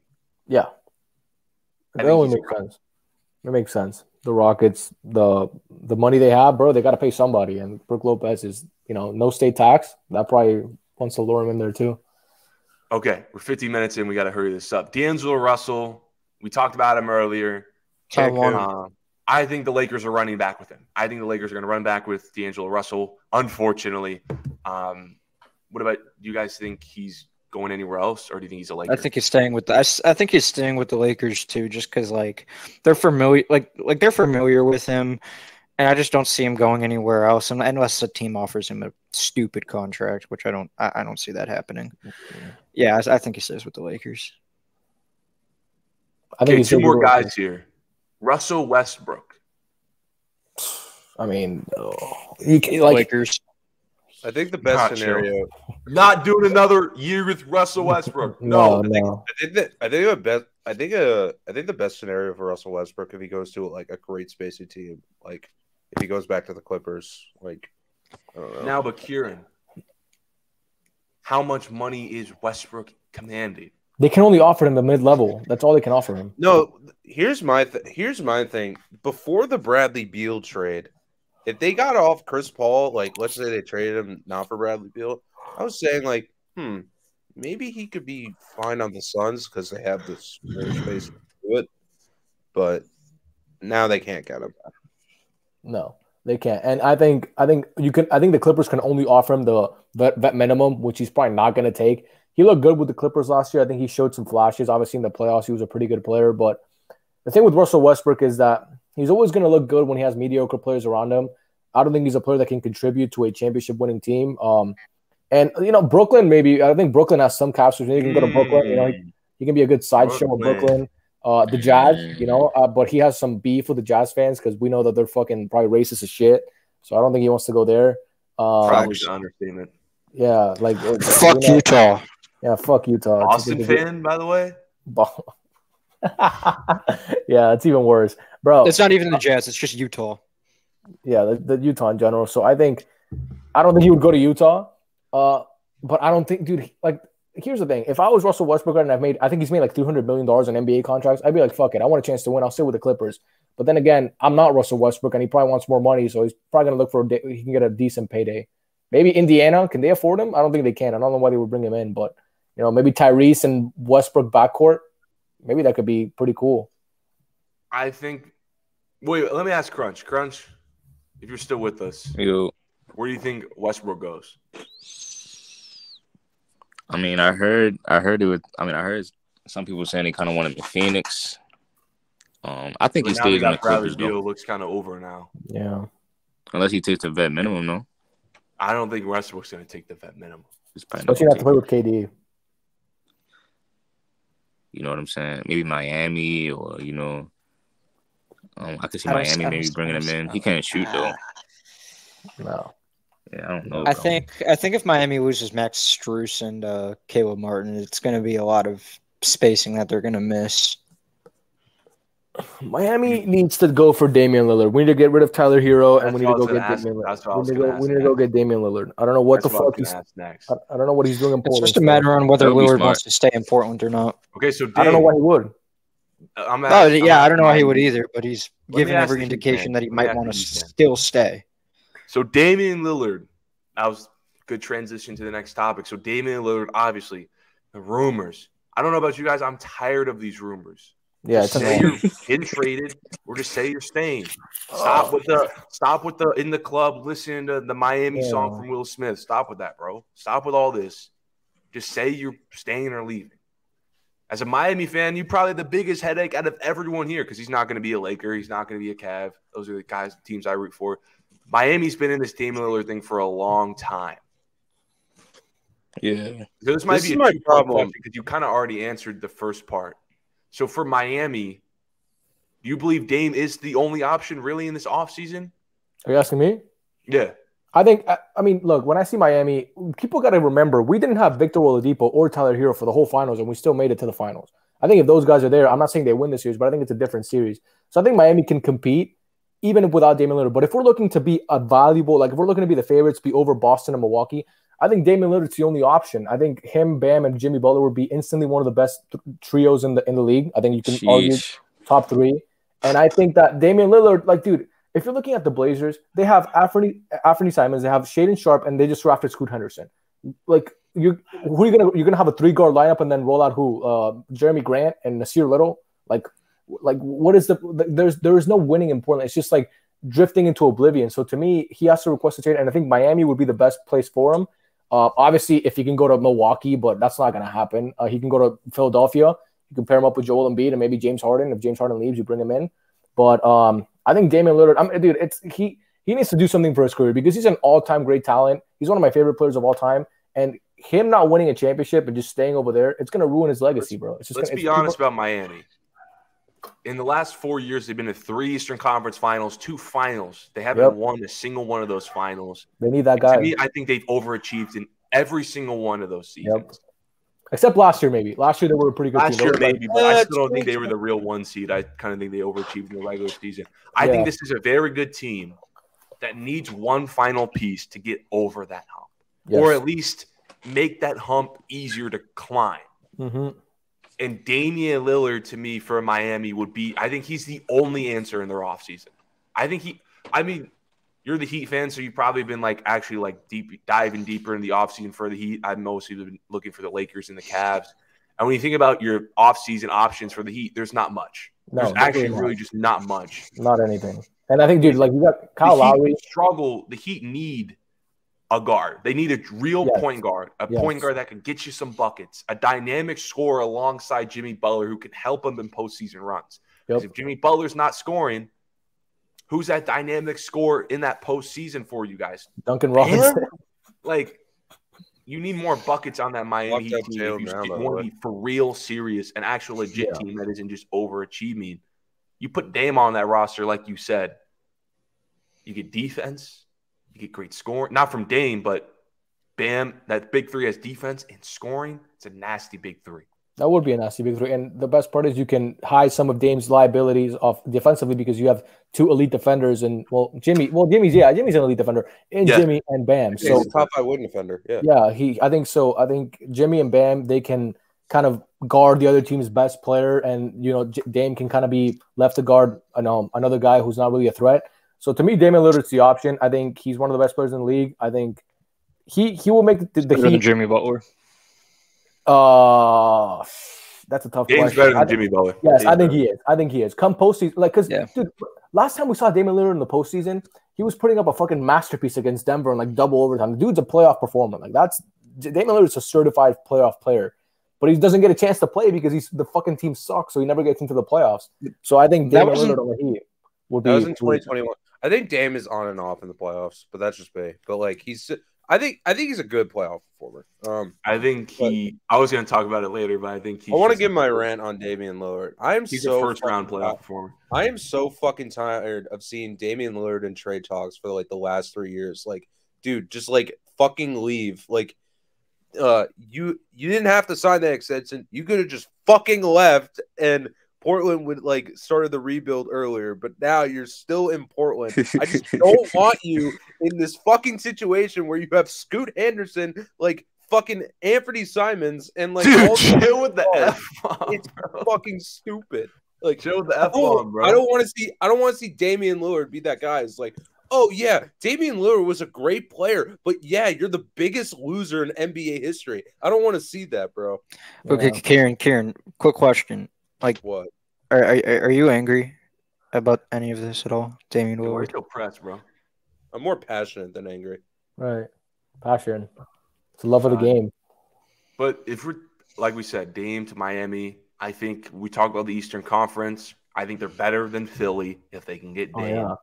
And we're really pushing conversations of what they can do. We've seen what they can kind of do to Milwaukee already with the build stop Giannis. They've been Giannis's biggest nemesis. They've been doing a better job than Boston as far as guarding Giannis and slowing him down a bit. They can really compete with Milwaukee if they get Dame. And they've seen we beat they've beat Boston twice in two ECFs. They get Dame. I don't know if they could win the finals, but that can definitely get them over the hump at a greater chance. But 100%. my thing with Dame, I'm gonna do my Dame rant. Uh, Kieran uh, ripped off the PG-13 title of this podcast. Um, said like eight f bombs. Um, so now all my kid audience, all my below 10 years old audience. All right, let's left. be honest. You don't have any 10 year olds watching. Yeah, why would you want that audience anyway? I don't think you want the, left, the under 10 year old um, audience. They left the stream. They're gone. Um, the kids who are watching my stream, they're gone. They're reporting me to their parents. Um, so yeah. So thanks, Kieran. Thanks. But about Dame, we're almost we're an hour in, so we're gonna close out soon. But I want to get this Dame rant off and open the floor to other people. For Dame, I think that whole running from the grind thing that he's so like caught up about, I think it's a cover up. If we're being honest. Yeah. I think Dame instead is scared to go to a real team because he does not want to play with legit winning expectations. Like I've seen Dame's postseason numbers in series beyond the first round, and let me tell you, they're not that good. and right. I don't think he wants to go to a team that has a really good chance to push deep in the postseason. Because if the if those non first round playoff numbers were to be for a team that has a shot, there would be no excuses for Dame like he gets in Portland. If like like the excuses he gets in Portland just wouldn't be there because it'll just be straight criticism. And I don't think Dame wants that. And I think that's what he's been scared about for a long time and why he hasn't committed to I want out and why he keeps saying I don't want to play for a super team. You just don't want to play for a team that has a legit shot to win. Right. I'm being honest. At this point, dude. Yeah. I, I think like, Dame's a great player and he moves a huge needle for Miami, but dog, join a good team. Like, yeah, stop a good team. Weird. Like, and, and Damian Lillard too. Like I said that he was a certified playoff player. I kind of misspoke a little bit because when I think about it too, like he obviously people bring like the two shots obviously against uh, Houston and against OKC come to mind, but that series in 2019 where they were in the WCF and it was Steph Curry, Klay Thompson, and Kevin Durant was out, and it was Damian Lillard and CJ McCollum. They had leads in all those, I think, in all those in the halftime at all of all those games and he really underperformed in those fourth quarter in, in that second the second half of those games. So when I see a guy like a Damian Lillard, I see a guy that's very talented, but he has his deficiencies, especially defensively. Um, and you know he needs to put more. I think he should put more pressure on the rim. You know, I don't think he's rim like that. That's the thing. Oh. you know, you know. So, but like, Shout I think legend winning. Legend. I think um, I, think Damian Lillard is a great player, but this whole thing, like, it's the same shit with Bradley Beal, and he's a better player than Bradley Beal. But some guys just want to get their money and just play basketball for fun. Like, they don't even care about making the playoffs. I think that's kind of where Damian Lillard's at. I don't think he's this, and there's nothing wrong with that, bro. Go make your money, but you can't keep talking about how you want to win it in Portland because you're not gonna fucking win it in Portland. Why lie to yourself? Like, are you speaking it into existence? It's not going to work. Portland's not going to win a championship anytime soon. Maybe in a ten, in five years' time, when Anthony, Scoot, and Shaedon Sharpe can maybe like grow into something, but you're going to be 38 by then. Like, are you gonna win a ring? Like, on that timeline. Do you want to? Do you want to win? Do you want to win? Do you want to win a Gary Payton ring where you're like fucking 45 and you're not even playing anymore? Like, you don't want to do that. You're Damian Lillard. So go to a team that can actually help you win a ring. He doesn't want to go to Boston, by the way, because I think he doesn't like the fans. Apparently, yeah, but I think yeah. he thinks Boston is a Boston. super team. Don't blame him. Huh? I think he thinks he'll make Boston a super team. No, but like again, like Damian Lillard has given everything to Portland. He just doesn't need to be there anymore. No, it's done. Tired of seeing him in trade talks every year and saying like, "Oh, I want to go to a contender." No, let's just be the biggest loser in NBA history. I think Dame no. likes the attention because why wouldn't you just come out and say, "I want to be traded" or "I'm in Portland"? Stop asking me. Maybe I think you've said like on and off, like maybe like one time, like he just when he says I want to stay in Portland, he just doesn't directly say it. He says it like a weird way, like I don't want to run from the grind or something. Like run from the grind. It's come out, Dame, before free agency, because you have Miami by the balls. Just come out and tweet, I'm staying in Portland or I'm demanding a trade. That's it, bro. and we'll move on. You go waste your talent in Portland, go lose, go miss the playoffs, go get 30 and not play winning basketball, or get demand a trade, come to a Miami, come to a formidable team that can actually make deep postseason runs and be a part of that winning franchise. But if not, bro, then say it. Like I'm tired of this, dude. Like this is sad. I mean, yeah. I mean, I did see him get swept though. He got swept by Stephen Klay, and Yeah. he was winning. Yeah. He was winning like twenty points. I think Portland was winning by like twenty points all four of those games. Yeah, they had a pretty good lead, substantial leads in all those games. I- and dude, he even lost that year. Remember like Anthony Davis year where they had Rondo Oh, and they lost? we don't they They got lost- swept. They got Yeah, swept. bro, dude. like- He played really bad. He that was really Jrue There was Holiday. really no played telling. Yeah, really- 'cause I was Jrue gonna say, Holiday- what if he wins a Ron- ring? it was Rondo and freaking Jrue Holiday just walking him, dude. walking him, like just outplaying him every single time. And bro, the thing is, like, we look at that series against Russell Westbrook. Russell Westbrook is a guy who he plays like he doesn't play the game, he plays like against a player. So like he was like making it a personal beef between him and Dame. And Russell really kind of played poorly, you know, those games. So like when you see that, like, and Damian Lillard obviously hit the shot, but Game wave to him, bro. and then and then waved to him. But I mean, like Russ I did think to Ricky Rubio too. and in the bubble, in the bubble, he was not great against the Lakers. That- that- that- he wasn't amazing. They were obviously the He eighth seed, right? yeah, he was kind of hurt. But He's the bubble MVP. Yeah, but wait, was it a Devin Booker? What is No, this it was- tweet? no, Oh, it was it was Dame. Dame, right? It was. What Dame, is yeah, this it's true. tweet? What is it? Haynes, What is it? breaking an hour ago, Kyrie will meet with the Suns. Oh my! Oh my Oh goodness. no! Break Chris Oh. Haynes an hour Bro, ago. Ky- NBA wait a minute, wait a minute. I need, attends- I, I need to check Okay, that. I need to The check free that. agency period begins June 30th. Kevin Durant. How Bro, the hell are they gonna get him? I don't even Dude, they're gonna have. Uh, all right, all right. d- d- Do you remember that scene from Despicable Me where Gru says, "In terms of money, we have no money." That's what the Suns are about to be. He gonna take. They're he gonna give him less like money. He one- gonna take less money and say, "I don't care about the money." if Kyrie gets a vet minimum to join the Suns, I'm Dude, I'm never I actually don't know if they'll be able to You'll afford not see these vet ever again. minimums. The TikTok's getting deleted. Okay, okay. We we will not talk about their depth. Their offense is going to be probably the best in the league because they. What the- bro, come Not on. just the league, the best ever. Like, See, but this is what I'm saying, bro. I hate. See, man, listen, bro. I don't think he's gonna- Durant's going to average 19. Crunch, what's your thoughts on this, bro? This is your guy Kyrie, and you don't. That's what like I'm saying. I don't like bro? team like I don't like super teams. Well, I don't don't like like I don't like unfair super teams. No, you know my. Here, But then my I mean, they still don't have no defense though. I'm actually Here's at the point where I still don't even think they would probably win. So how's how does this work? I'm guessing if okay, now this is just a meeting, by the way. This isn't set in stone. It's just Kyrie intends to go Oh hit up Phoenix when the free agency period opens June 30th. So I assume this would have to be a sign and trade with DeAndre Ayton and literally everything Phoenix has for Kyrie Irving. This is nuts. Well, well, all they have other than DeAndre Ayton that they're not going to trade at this point is freaking Ish Wainwright. And Like Josh Cam Payne. Okogie. Cam Payne. They What can part- What did they sign? What did they sign? Like DeMarcus Cousins or something? Dude, they're gonna have to sign Dwight Howard. Or the right house? They're gonna need to just sign guys that are have been What? retired. Like they're gonna Right. sign like Jerry West and Bob Cousy for No, depth. I heard My Avery Bradley. I heard Avery Hold. Bradley. They, should, they could sign Avery Giannis, Bradley. Giannis's brother from Greece is probably gonna have to come My over. and- problem, my problem with the Suns is that like when Bradley Beal got traded, people were like, "Oh, look, Kevin Durant has another super team." But like, Kevin Bro, Durant, that's so smart. I don't know why I'm just saying this right now.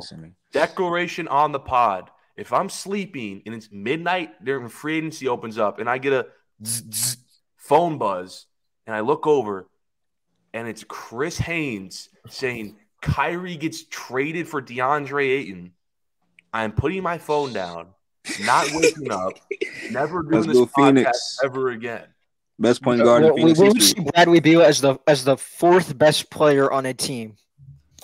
There's no way. Best that'd point like guard. the most, best that'd point be guard the to most Suns loaded jersey. offensive team of all time. A hundred It'll be the- percent. Oh, He'll be the another tweet from um, an NBA insider. The Lakers are confident in their ability to sign Bruce Brown. Oh shit, Awesome, awesome. that'd be huge. wow. That would be huge. That would that would really be huge. He was the most underrated piece for their team this year for the Nuggets. Him and KCP was actually pretty good too. And, Yeah, and um, KCP, KCP was solid for the Lakers. The Yeah. Laker, the Houston. I'm reading off just literally Chris Haynes tweets now. The Houston Rockets are emerging as a strong landing spot for Kyle Kuzma. Ugh. Yeah, I forgot Kyle Kuzma. I think Right, he was linked to the Suns too. Arch's He favorite has an player. Option. Oh, he Kyle Kuzma declined his option. I, or Yeah, he wants to get paid like thirty. He wants to make thirty million. That's what he said. Oh yeah, yeah. He wants to get paid. yeah. Bro, Kyle just like Kuzma. play on the Wizards and you'll average thirty. He's gonna go to the Pacers, and he's gonna be uh, getting the dribble handoffs and simple passes from Tyrese Tyrese Halliburton. Bro, the Suns are about to be the Chiefs of the NFL. Somehow they're just gonna like make it work and sign. They gonna do it, bro. If they get Oh, Kyrie, No, no, no. I No, the they Suns are- might do it. Uh, I know I said like in the beginning that I don't talk about baseball, but at that point the Suns would literally be the Yankees, where they're just paying everybody for the hell of it. Yeah, I, I, Yeah. yo, and that's why I'm glad we have a salary cap in the NBA because if we did some MLB stuff, when the big because the Los Angeles Lakers would literally not lose a championship if there was no salary cap. No. By the way, Here's the thing, though. I don't see the Suns as a super team, though. I don't I, like. I think they have like I don't because I don't see the depth there for there to be like when I see a super when I see the Warriors team, you had Steph, Klay, Draymond, Kevin Durant, and then you had Shaun Livingston who comes in and gives you fucking 50 points. It seems like from that mid range jumper that he had. Um, then you had a couple other pieces, you know, like um, what was his name? The David West. David Iggy. West. They had uh, Mo Speights. You know, they had those Iguodala, players. yeah. Iguodala. I don't oh, see this I, team. I, I see what you're trying to say because like you see, you still see the lack of depth thing. But when people Yeah. say super teams and the definition of a super team, It's top heavy. it's the depth. They don't look at the coaching. It's just how many stars you have, and that's where the super team Like- term comes from. It's like, do you have three? Like Miami Heat, although they had some depth issues at like a season or two, they were considered a super team because of just that big three, like the Right. big stars on your team. Well, I think I think I think it was more of a super team back then because I think you needed less depth then than now. True. Um, Pat 'Cause Riley. We still got to the finals, so Pat But Riley anyway, had a hard time selling um, the Heat's owner on a Bradley Beal trade. so good, good. so if the Suns get Kyrie Irving, they'll have three top twenty players and another dude who's top like thirty. Andre Drummond's expected to sign with the Dallas Mavericks. Multiple rival teams have told me this week that they expect Oh, Dallas to come. to Oh, awesome! Another washed center that's not going to play any defense Oh, for you awesome, anymore. awesome! Another uh, Moses Malone. Uh, Oh my god, All right, dude. Okay. Uh, Moses Malone without the scoring. Vucevic wants more touches in Chicago's offense. Okay, and that That's was awesome. Clippers They're- are they're gonna be screwed. Team and Clippers are a dark horse and Vucevic Harden is so okay, The Clippers are a dark horse team for who? Harden. How? Like, are they getting rid of Paul George? How the fuck? Did Yeah, they they would him? have to to. get rid of. They would have to get rid of like Paul George or like guys like. They would And have then to maybe rid- also like Covington too, since he's getting paid No. like a good amount of No, money. my problem with the Clippers is that I think they're like when they're fully healthy, they're the second best team in the West. But like if they're gonna have to give up their whole bench for James Harden, I would not do that. Yep, and then for Max Strus, the Indiana Pacers are strongly Pacers. winning a three Three year. forty-eight million dollar contract for Max Strus. Mm. Max Strus is one of the best players for the Heat in the playoffs. I think, um, you know, he was pretty good in the finals. I don't. He's one of those guys though that I don't really see his value outside of Miami. Yeah. But I do think that he can make some. Like, dude, go get your bag, obviously. But I don't. I don't. I don't see his value outside of that Heat system. To me, at least, like I think he's a guy that thrives on that culture with the Heat. I know it's a kind of a corny term, culture. I fucking hate that term sometimes, but he does kind of thrive in that system. So um, I don't like. I don't think the Heat want to bring him back though. I don't. I think the Heat are the type of team that they can find a gem in the second round or in like in the undrafted pool, and they can just develop him into a fucking you know like we saw with Duncan Robinson or or Gabe Vincent or you know all these other guys. Well, we're an hour and 13 in, and I think we had a really good heat, really good discussion. Now I'm going to open the floor really quick because this is my first time talking to you, Mitch. First time talking to you. Um, I know you follow me.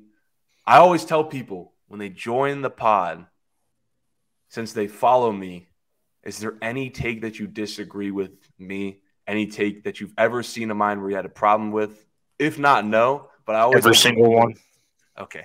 I always open the floor to people um, who uh, have have issues with my I was, take. uh, I mean, the only one that it is, and it's a pretty, it's one we already talked about. I saw your live, and I saw you had Jordan ahead of Bron, and I was, I wanted to ask you, like, what is your criteria? Why, why do you have? Because I know you're a Bron fan, but what makes you think that Jordan is? My is better? personal goat is LeBron Raymone James, but I had to make a consistent criteria Right. because if you do TikTok lives and you got nerds who want to just cook you Um, you need consistent criteria. Yeah, Right. Matt rose his hand. Um, you need consistent criteria, and I tell all these other people, it's if you want to put a list out there, you need consistent criteria, or else you're gonna crumble. Like it, you're gonna get cooked because Yep. you could have a good argument for why a player is number two, but if the talking points you use for that player to be two isn't holding up to why this right. player is six, then it's not going to work. So I made a consistent criteria, and I think it's very good on how I rank players. But unfortunately, my criteria has What's plugged in? LeBron James. So my criteria is accolades, peak, skill, longevity, and impact on winning. Now, they all have different weights and gaps depending on how much the player weights them Right. and ha- depending how big the gap is. So there could be gaps. Like sometimes, although I try to do on a simple level, since there's five, you need to win three out of the five to be the higher all time. But unless there's a gap that's just so huge, it can overcome something like that. Like a longevity gap can be like really huge. So like so Jordan has the accolades, more MVPs, more chips, more Right. consi- more significant bronze trophies in his case. His trophy case is bigger. And that's not even Mhm. considering the scoring titles. That's like just the MVPs and all that. Um, longevity goes to LeBron. Um, now you can say there's a decent longevity gap, but there's also a decent accolades gap. Peak is close, and you can pick whoever you want on your peak. I'm going with the early 90s Jordan, going with 91, 92, 91. 93 type Yeah, I'm going with 91 too. I'm Yeah, 91. That I just think that's just the better basketball player. But LeBron 2013 and 2009, whoever you pick, is very close. Yep. So Pete goes to Jordan. So Jordan has accolades, peak, LeBron's longevity. Skill, I'll give to LeBron because I think LeBron's the more well-rounded basketball player, can do more on a basketball court. So he has the skill. So it's 2-2, and it all comes down to impact on winning. And you think Jordan had a higher one? And I just think Jordan, well, I think Jordan had the better NBA finals. I think 93 NBA finals is the best NBA finals ever. So I got the better NBA finals, got better postseason runs, tougher conferences, more postseason resilience, and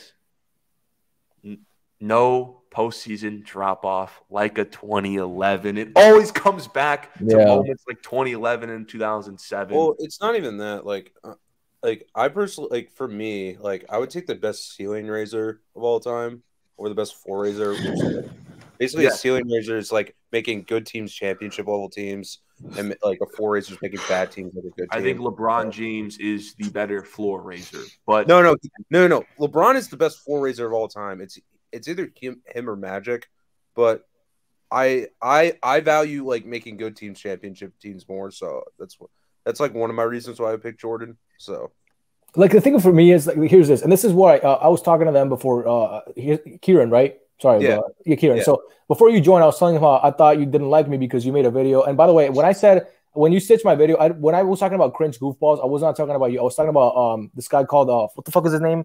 I think his name is Katie's Burner on TikTok. Who's just basically Oh, Yeah, I know. Yeah, I know. I, I He know. was I know basically like he made like the first 20 minutes of the video just talking about how LeBron's my daddy and how he's my sugar daddy. And I was like, bro, if, if you want to talk about your homosexual fantasies with me and LeBron, do that on another. Like you don't have to do that. Like, send, send it to me through DM. You don't have to do that shit on your fucking account. But the thing for me is, in one of the videos that you stitched that you were t- like one of the like I I don't if like everything Steven just said, I I accept, right? I disagree with a lot, some of it, but I accept what he's saying. My Yeah. problem is when people talk like they use inconsistent criteria when they talk about like Michael Jordan never like because I hate the fact that people act like Michael Jordan's career was six years, and that really pisses me off. And when people talk Yeah. about how like Michael Jordan, and then that's the point I was making in that video when I said, why does Michael Jordan need teammates to win? Like in, in the early 80s, that's why I said he was Tracy McGrady because Oh, Michael okay. Jordan, Michael Jordan is a guy who obviously needed teammates to win because everybody needs teammates to win. But when I make that argument for LeBron, people are like, well, he's, he's the GOAT. He should win every time. Well, it doesn't work like that because before Michael Jordan got Scottie Pippen, he was going up, going up against historic teams and he was losing. But we saw that his talent was there and he was pr- producing. So when I see LeBron and he's losing to the Warriors in 2015 and he's losing to the Warriors in 2018 and he's losing to you know the Spurs in 2014 and I see that those are better teams and LeBron's supporting cast wasn't there, I'm like, why don't we use the same criteria for LeBron that we use for Jordan? That's my problem. We I always don't act like count those LeBron, against LeBron. right? Like, Because I don't. I'm not one of those dudes who say he's got six NBA Finals losses. I don't do that. Well, I like, just my see- thing about yeah. Jordan, my thing about Jordan, Jordan's is got the that, like, greater performance. I think Jordan's got the better postseason resilience. And that's valid criteria. I respect I think that. LeBron has more LeBron of a sample worst- size though, like in in in the big games. Yes, That's- I think he's got the worst. He's got the worst drop off compared to Jordan. Um, Yeah, yeah, Mitch. Like, uh, so like I didn't know if you were like like since like we're talking like you're pretty cool, dude. Like TikTok is like way different like thing, but like Yeah, bro. I- Look, by the way, just I don't want to cut you off. I don't take like at the end of the day, it's all sports. Like it's not it's not personal. You get what I'm saying? Like it's yeah, it's- yeah, yeah, You know what I mean? yeah. Because like when I when I when you said Michael Jordan's like the trace, I was like, I was like, oh my god. Jordan was Tracy McGrady before he got Pippen. But bro. I really take pride in not being a view baiter. I really, I, I won't consider myself. I, like obviously views are cool, but I don't consider. I don't want to be a view baiter. Like, I hate those Yeah. people. You know, like I, I actually because I feel like I'm pretty consistent with my criteria. Here's my argument for LeBron. Since Okay. 2011, since 2011, right? And you guys can disagree with this. I think he's had, and you can talk about the finals losses. I think since 2011, you're looking at the great, one of the greatest, probably to me, the greatest stretch in NBA history. What he's been able to accomplish since that, like 2011 was bad. Okay, I was there for Game Three in, in Miami. Um, no, Game Three, yeah, Game Three was in Miami. It was bad. Okay, he was a, he was bad that series, but like since then, he's been like what he's accomplished is extraordinary, bro. You're looking at a guy who made the finals with Rodney Hood, George Hill, and Jordan Clarkson. And I understand the East was weak, but that Pacers team had um had Victor Oladipo, it had Miles Turner, it had um uh, what the fuck his name? It had um Sabonis. Sabonis, still had Sabonis. Still, he was a young player still, and then he went through the Raptors, who people look at as a meme now. But Dwane Casey had just won Coach of the Year, the Raptors and are that's better a- than Cleveland. The and Raptors were also favored in that series. and they were favored in that series. Yeah. then what do you- dude. To me, it's Boston. What puts him over there? Just a Boston series where Oh my down god! two- Don't they- remind me of that series, dude. Bro, they're, they're down 2-0, and this God. motherfucker comes back and wins fucking four out of four out of the next um two, no three out of the next four no what would it be?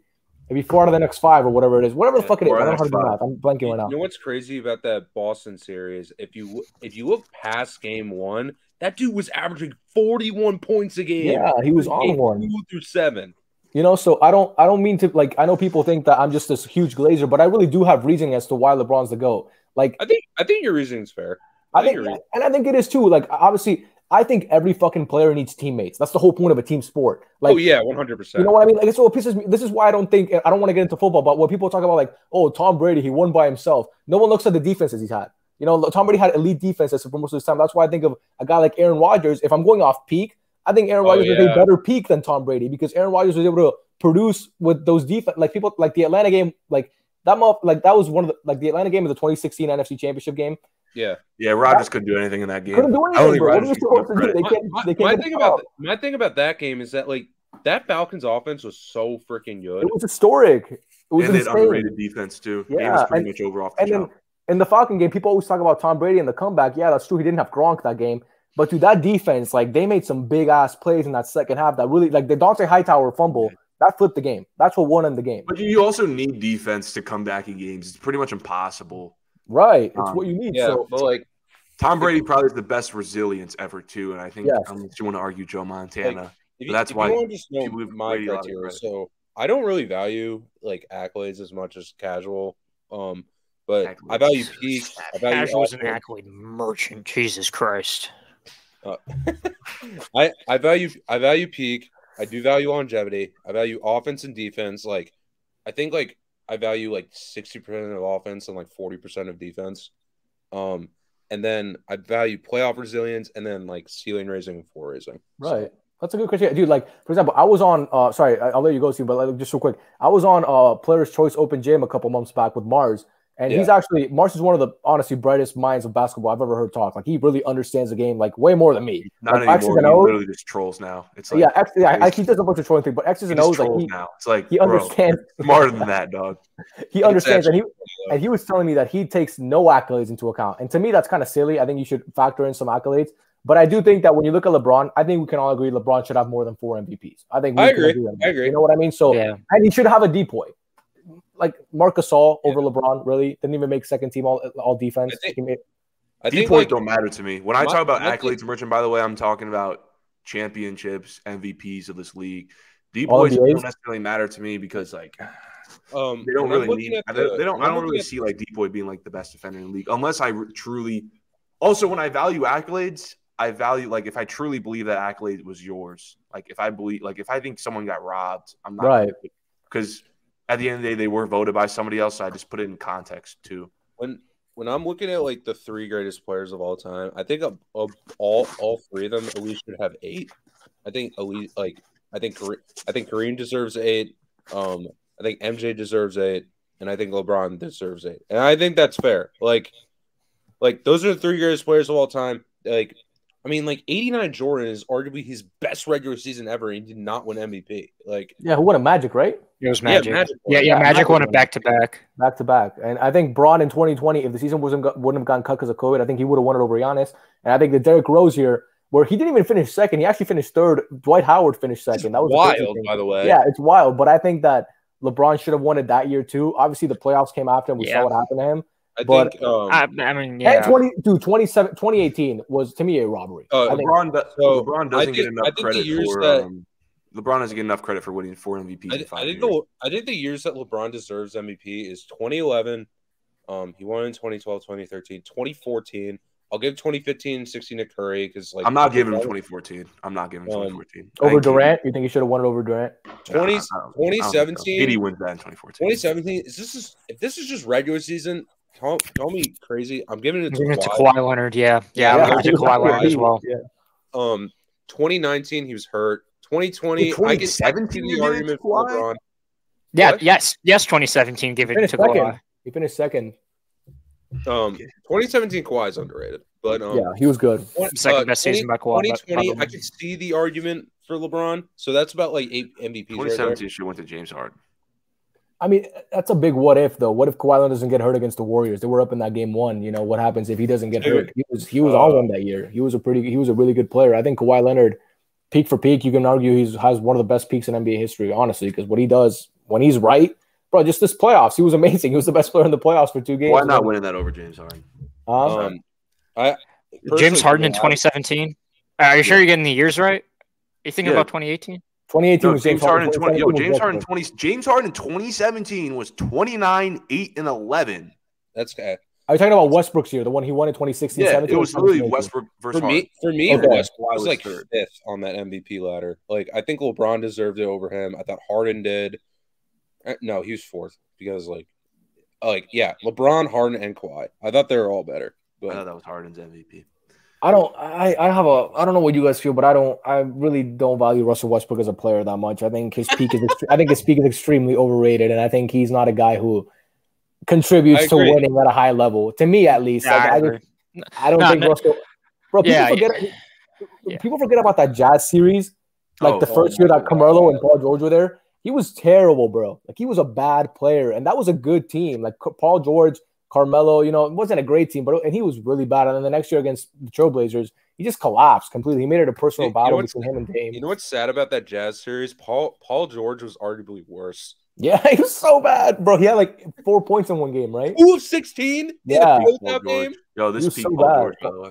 Th- th- th- that's the thing. Like, if, if if my file for my like all time players list wasn't corrupted, like I could tell you where I have Westbrook right now. But like, I'm gonna need to like try my best to restart the whole thing. Yeah. I'm, We But about but the thing, but but like I'm pretty sure I had Russ like at 53, I'm, and I'm think like the, the the arguments that I hear for Russ are ridiculous because it's kind of like, well, where do you have Russ? Because Oscar Robertson should be in that same range because he broke Oscar. Ro- That's not how it works. Uh, It's not- okay, relative to era, Oscar Robertson like wipes Russ. It's not even close. Like Uh, yeah, yeah, yeah. Like you could give Russ like the playmaking, the rim pressure, and the um. I wouldn't even say playmaking. Like, uh, like Oscar Robertson's one of the This best. term rim ever. pressure, man. Oh my god. It gets Uh, used. Who Yo, invented that word KD. and why is it Wait, wait, wait, wait. Where's KD's rim pressure? Okay, thank. It's worse than Max Strus in the playoffs. You saw that graphic? It was so bad. Draymond. Green. Yeah.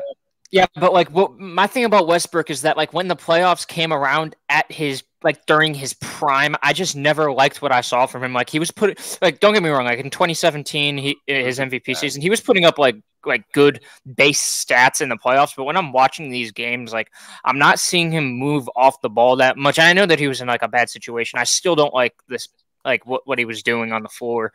Um it's like the 25 shots, 13 makes like as the best player. Like like that's not. I don't like that. It's like which is which is like it's like I, I like a lot more guys in the playoffs that a lot of people don't even consider better than we've, Russell we've Westbrook. Guys like Chris Paul, Jason Kidd. Bob Cousy, guys like that. I trust them more in the playoffs than we've Russ. pivoted so far from the goat debate, but I want to say this about the goat debate again. Um, LeBron's GOAT debate would have been a lot stronger if from like year 17 to year now 21, if he would have snagged an MVP and a championship, that longevity gap, and he would have closed the accolades gap a little bit more, and he would have the huge longevity gap that it could erase away some of that impact on winning gap. But the fact that he didn't end up winning an MVP in 2020, the fact that he got hurt in 2021. Didn't win the. That was the Lakers' best team. That 20, was the best I, Lakers team. I thought, I like 2021, like before the injury, the Lakers team was arguably better. Like, yeah, was that was the best Lakers team, and he should have won. He was going to win MVP. I think he was in line to win MVP. Yeah, he was first. He was first. Yeah, definitely. I tried telling people because I thought I was delusional, saying the Lakers could easily three-peat after the bubble, and they were on their way. So like, three P would have been hard. Three P would have been extremely hard. Yeah, it would have been difficult. so I thought the only thing they could have went back to back. So like I always thought that like LeBron's last year as the best player in the NBA was 2020. But now if I'm looking at it pre-injury from 2021, it might be 2021. Yeah, bro. We talked about the other day. And dude, I, am not gonna lie, that Westbrook trade, and I blame part of that on LeBron because he did want Westbrook, but then again, like there is a GM that can veto it. But that dude, when you look at the pieces they gave up, like Kyle Kuzma, think about how valuable Kyle Kuzma and and uh Kentavious KCP would be for this team this year how good they would have been. Like it would have been the depth they would have had would have been elite. You know not what Kuzma. I mean? Not, not I, I, I, yeah, I don't I don't see Kuzma succeed. The Kuzma in Washington like would not be the Kuzma in LA. No, but right? KCP, yes, but KCP. I, I mean, I mean, Kuzma in Washington was like the second option, benefiting off of Bradley Beal, and he was still like shot four percent below the league average. So it's kind of like and with no expectations to win, and with a greater role. So stats yeah. look prettier. But, but KCP, about, yes. But here's the thing about that whole um about that whole uh, champ. Like, so my problem is when people talk about like the Mickey Mouse ring. That is a stupid excuse because you're just saying that because LeBron won the ring. Like, was it in Orlando? Yeah, but every player played under the same circumstances, and no one discredits Jokic's ring this year because he played against an eight seed. But the Heat that they year do. were one of the best they teams. Do. In the I had to make a whole video on it. You know, it's so hard. like, why do we discredit LeBron when he wins it against the Heat? Like, and I'm a Heat fan. I was rooting for LeBron that game, but people always ask me, "Who do you root for when they play?" I would, I was rooting for the Heat. I have the whole rest of my life to watch the Heat win championships. I've got a limited amount of time for Bron, so I'm watching. I was rooting for the Heat. I was rooting for the Lakers, and dude, you got to look at it like he was the best player in those playoffs. Like it wasn't like he was. Like, you know, yeah. he was the best yeah, player was. in that whole run. He was. So I think when you see that, those are the arguments that I dislike: the Mickey Mouse ring, the can't win without a super team, because that's easily not like you can disprove that pretty easily. Do you know what I'm saying? Well, well, well, well, that well, that's the thing about about like debating people on TikTok, and I came to realize this after a while. I say it all the time. If there's 25 people who tell you the same thing, and that they all uh, these 25 people they all agree on it but they all have Down syndrome. Are you gonna call? Are you gonna say like they're uh, uh, like you know you, you know what I mean? It's like you're not gonna take them seriously. Group of people. I thought you did you remove him? Oh no, my bad. I don't know. Nah, I was do I was removing him and bringing him back because Matt's analogies like every time are just like. that's why, dude. That's why I wanted to get banned on TikTok. No, no, but what I mean is there's a certain amount of people that you should take seriously for their opinions because they know what they're talking about. But there's a certain amount of people that it's kind of like okay these people they don't really like do their due diligence. They don't do their research or they're just a hater. I'm not going to take them seriously. Think right. about like, it think about it. It's just, thing, it's just like think about now i don't entertain politics like i used to anymore because i hate that space. But if anyone knows anything about politics it's kind of just like politics where there's the casuals and the actual knowers. And i'm still a bit of a casual because i consider myself someone who's still learning so as a bit of a politics? casual, we fall back on talking points. Oh, right. When you hop on these TikTok lives, I don't really be. I don't see you ever on. you should start doing TikTok lives. I don't know why. I, should, don't I don't do. I don't really. This is the second podcast I've ever been on. I went on. I don't know why you don't do TikTok lives. Yeah. I think those would be funny because I like doing bro, TikTok dude, lives. Dude, and when Mitch you hop on live, bro, you hear huh? dude, the trolls and Mitch's live the same comments. talking points over and over again. It's just like politics when people don't know much about politics whether what side they're on, they'll say the same talking points right. over and over again. And like, it's like, bro, I just can't stand the fact like Crunch Time was here earlier. And he, him and I have a history because he makes these stupid lists, bro. He trolls. And he, I would tell him to trade if he was here. I'm not saying that now because I would literally say your lists are stupid because he puts Steph Curry ahead of LeBron James all the time because he's beating them in the finals. What type of criteria is that? It's like the Skip Bayless talking points that I just despise, dude. It's like so dumb. Oh, he thinks uh, Curry peaked higher than LeBron. Too. Yeah, like that makes no sense. And then uh, the other ones, like what really you're talking about politics, is true. It's like that one kid that comes to school after watching one uh, Steven Crowder video and thinks he's like somehow this fucking yeah, you know what I mean? Like, I was like referring to. People just keep like it's just like politics. They spew. You know what I mean? But I think TikTok, dude. I think TikTok lives are cool, but it's just such a toxic. TikTok is such a toxic app, bro. Some of the comments I get, I'm like, Jesus yeah, fucking I know, Christ, I know well hand, right, man? Bro, bro. Kieran, Kieran, stop. Stop. Kieran, Kieran's comment section's bad. I tend, I try to, I read my comment section. I know it's not really that because I get a bunch of comments. It's not really I that a lot crazy. too it's not smart to read comments, but I like to read comments just so I can like because there's gonna be some people in my comments who like actually know ball. It can right. fix my wrong yeah. take. So I do look at my comments to see like, oh, maybe I was wrong here, and this dude can actually like give me a right reason.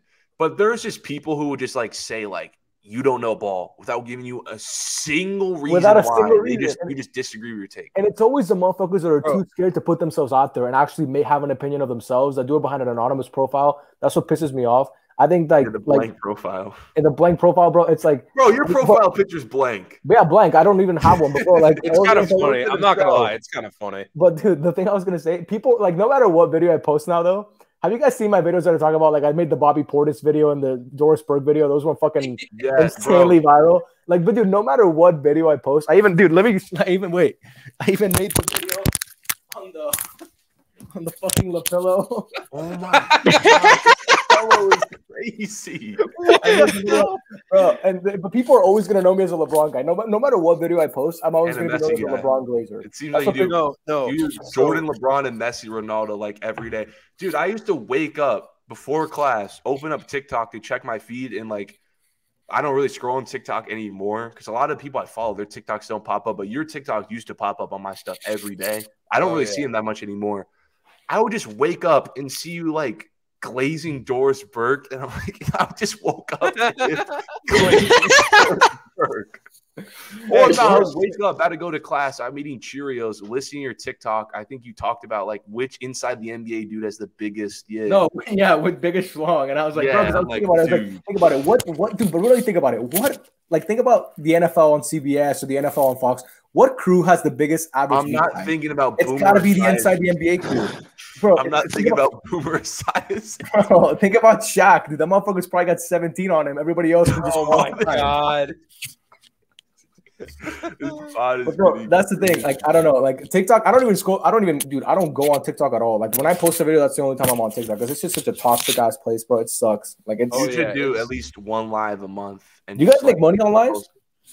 You can. They you can like. Oh yeah. Oh god, I was on Casuals Live a couple weeks ago, and this one guy came in, and he would not stop donating to me. I ended up making thirty five dollars off of that one person. Yeah. I don't know how you pull money off TikTok. I don't know how you get money on TikTok. I don't do it for money, so I don't care. Bro, yeah, I, I, don't either. I just, I just do it for fun.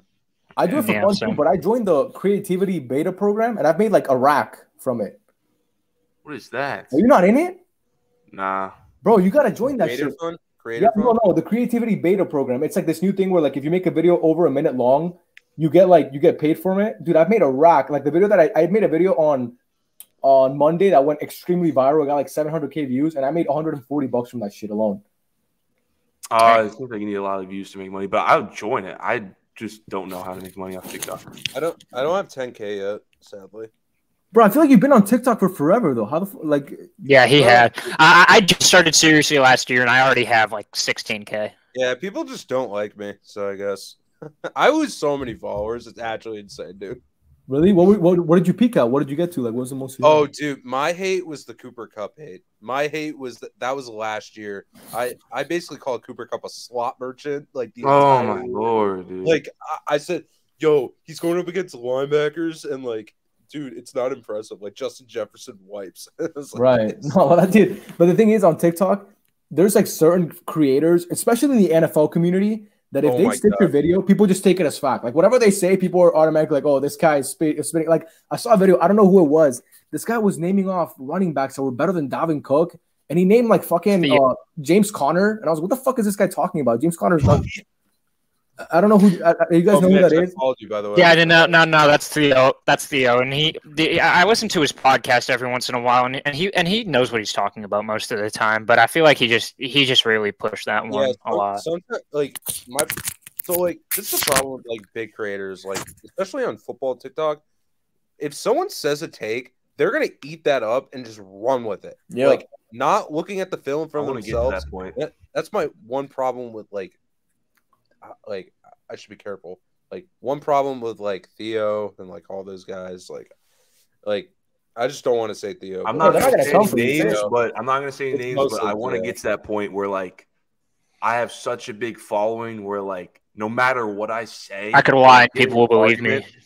Like you can just like some of those big creators, they can just say anything. And people are like, "Yo, facts, like facts." Bro, you know what? And And it'll not, be the worst take ever. Like you Bro. can say like, "Say the sky's red," and you'd be like, "Spin!" Like Yeah, no, but dude, for me, uh, this, this is not even like this is a kind of a subtle flex, but for me, in my soccer videos and a lot of the basketball videos too, I ratio anybody that comes at me in the comments, and it's like a significant fucking ratio. Like I'm, I like because people like I don't know, people, people just like dude, because like people just like, and that's the best feeling too when you get some clown in your comment section, you just fucking totally like ratio the fuck out of him with like a comeback. Yeah. That's the that's the best part. That's when like being a big creator is fun when you can just kind of like bully the little guys in the comment section. That's when it's See, fun.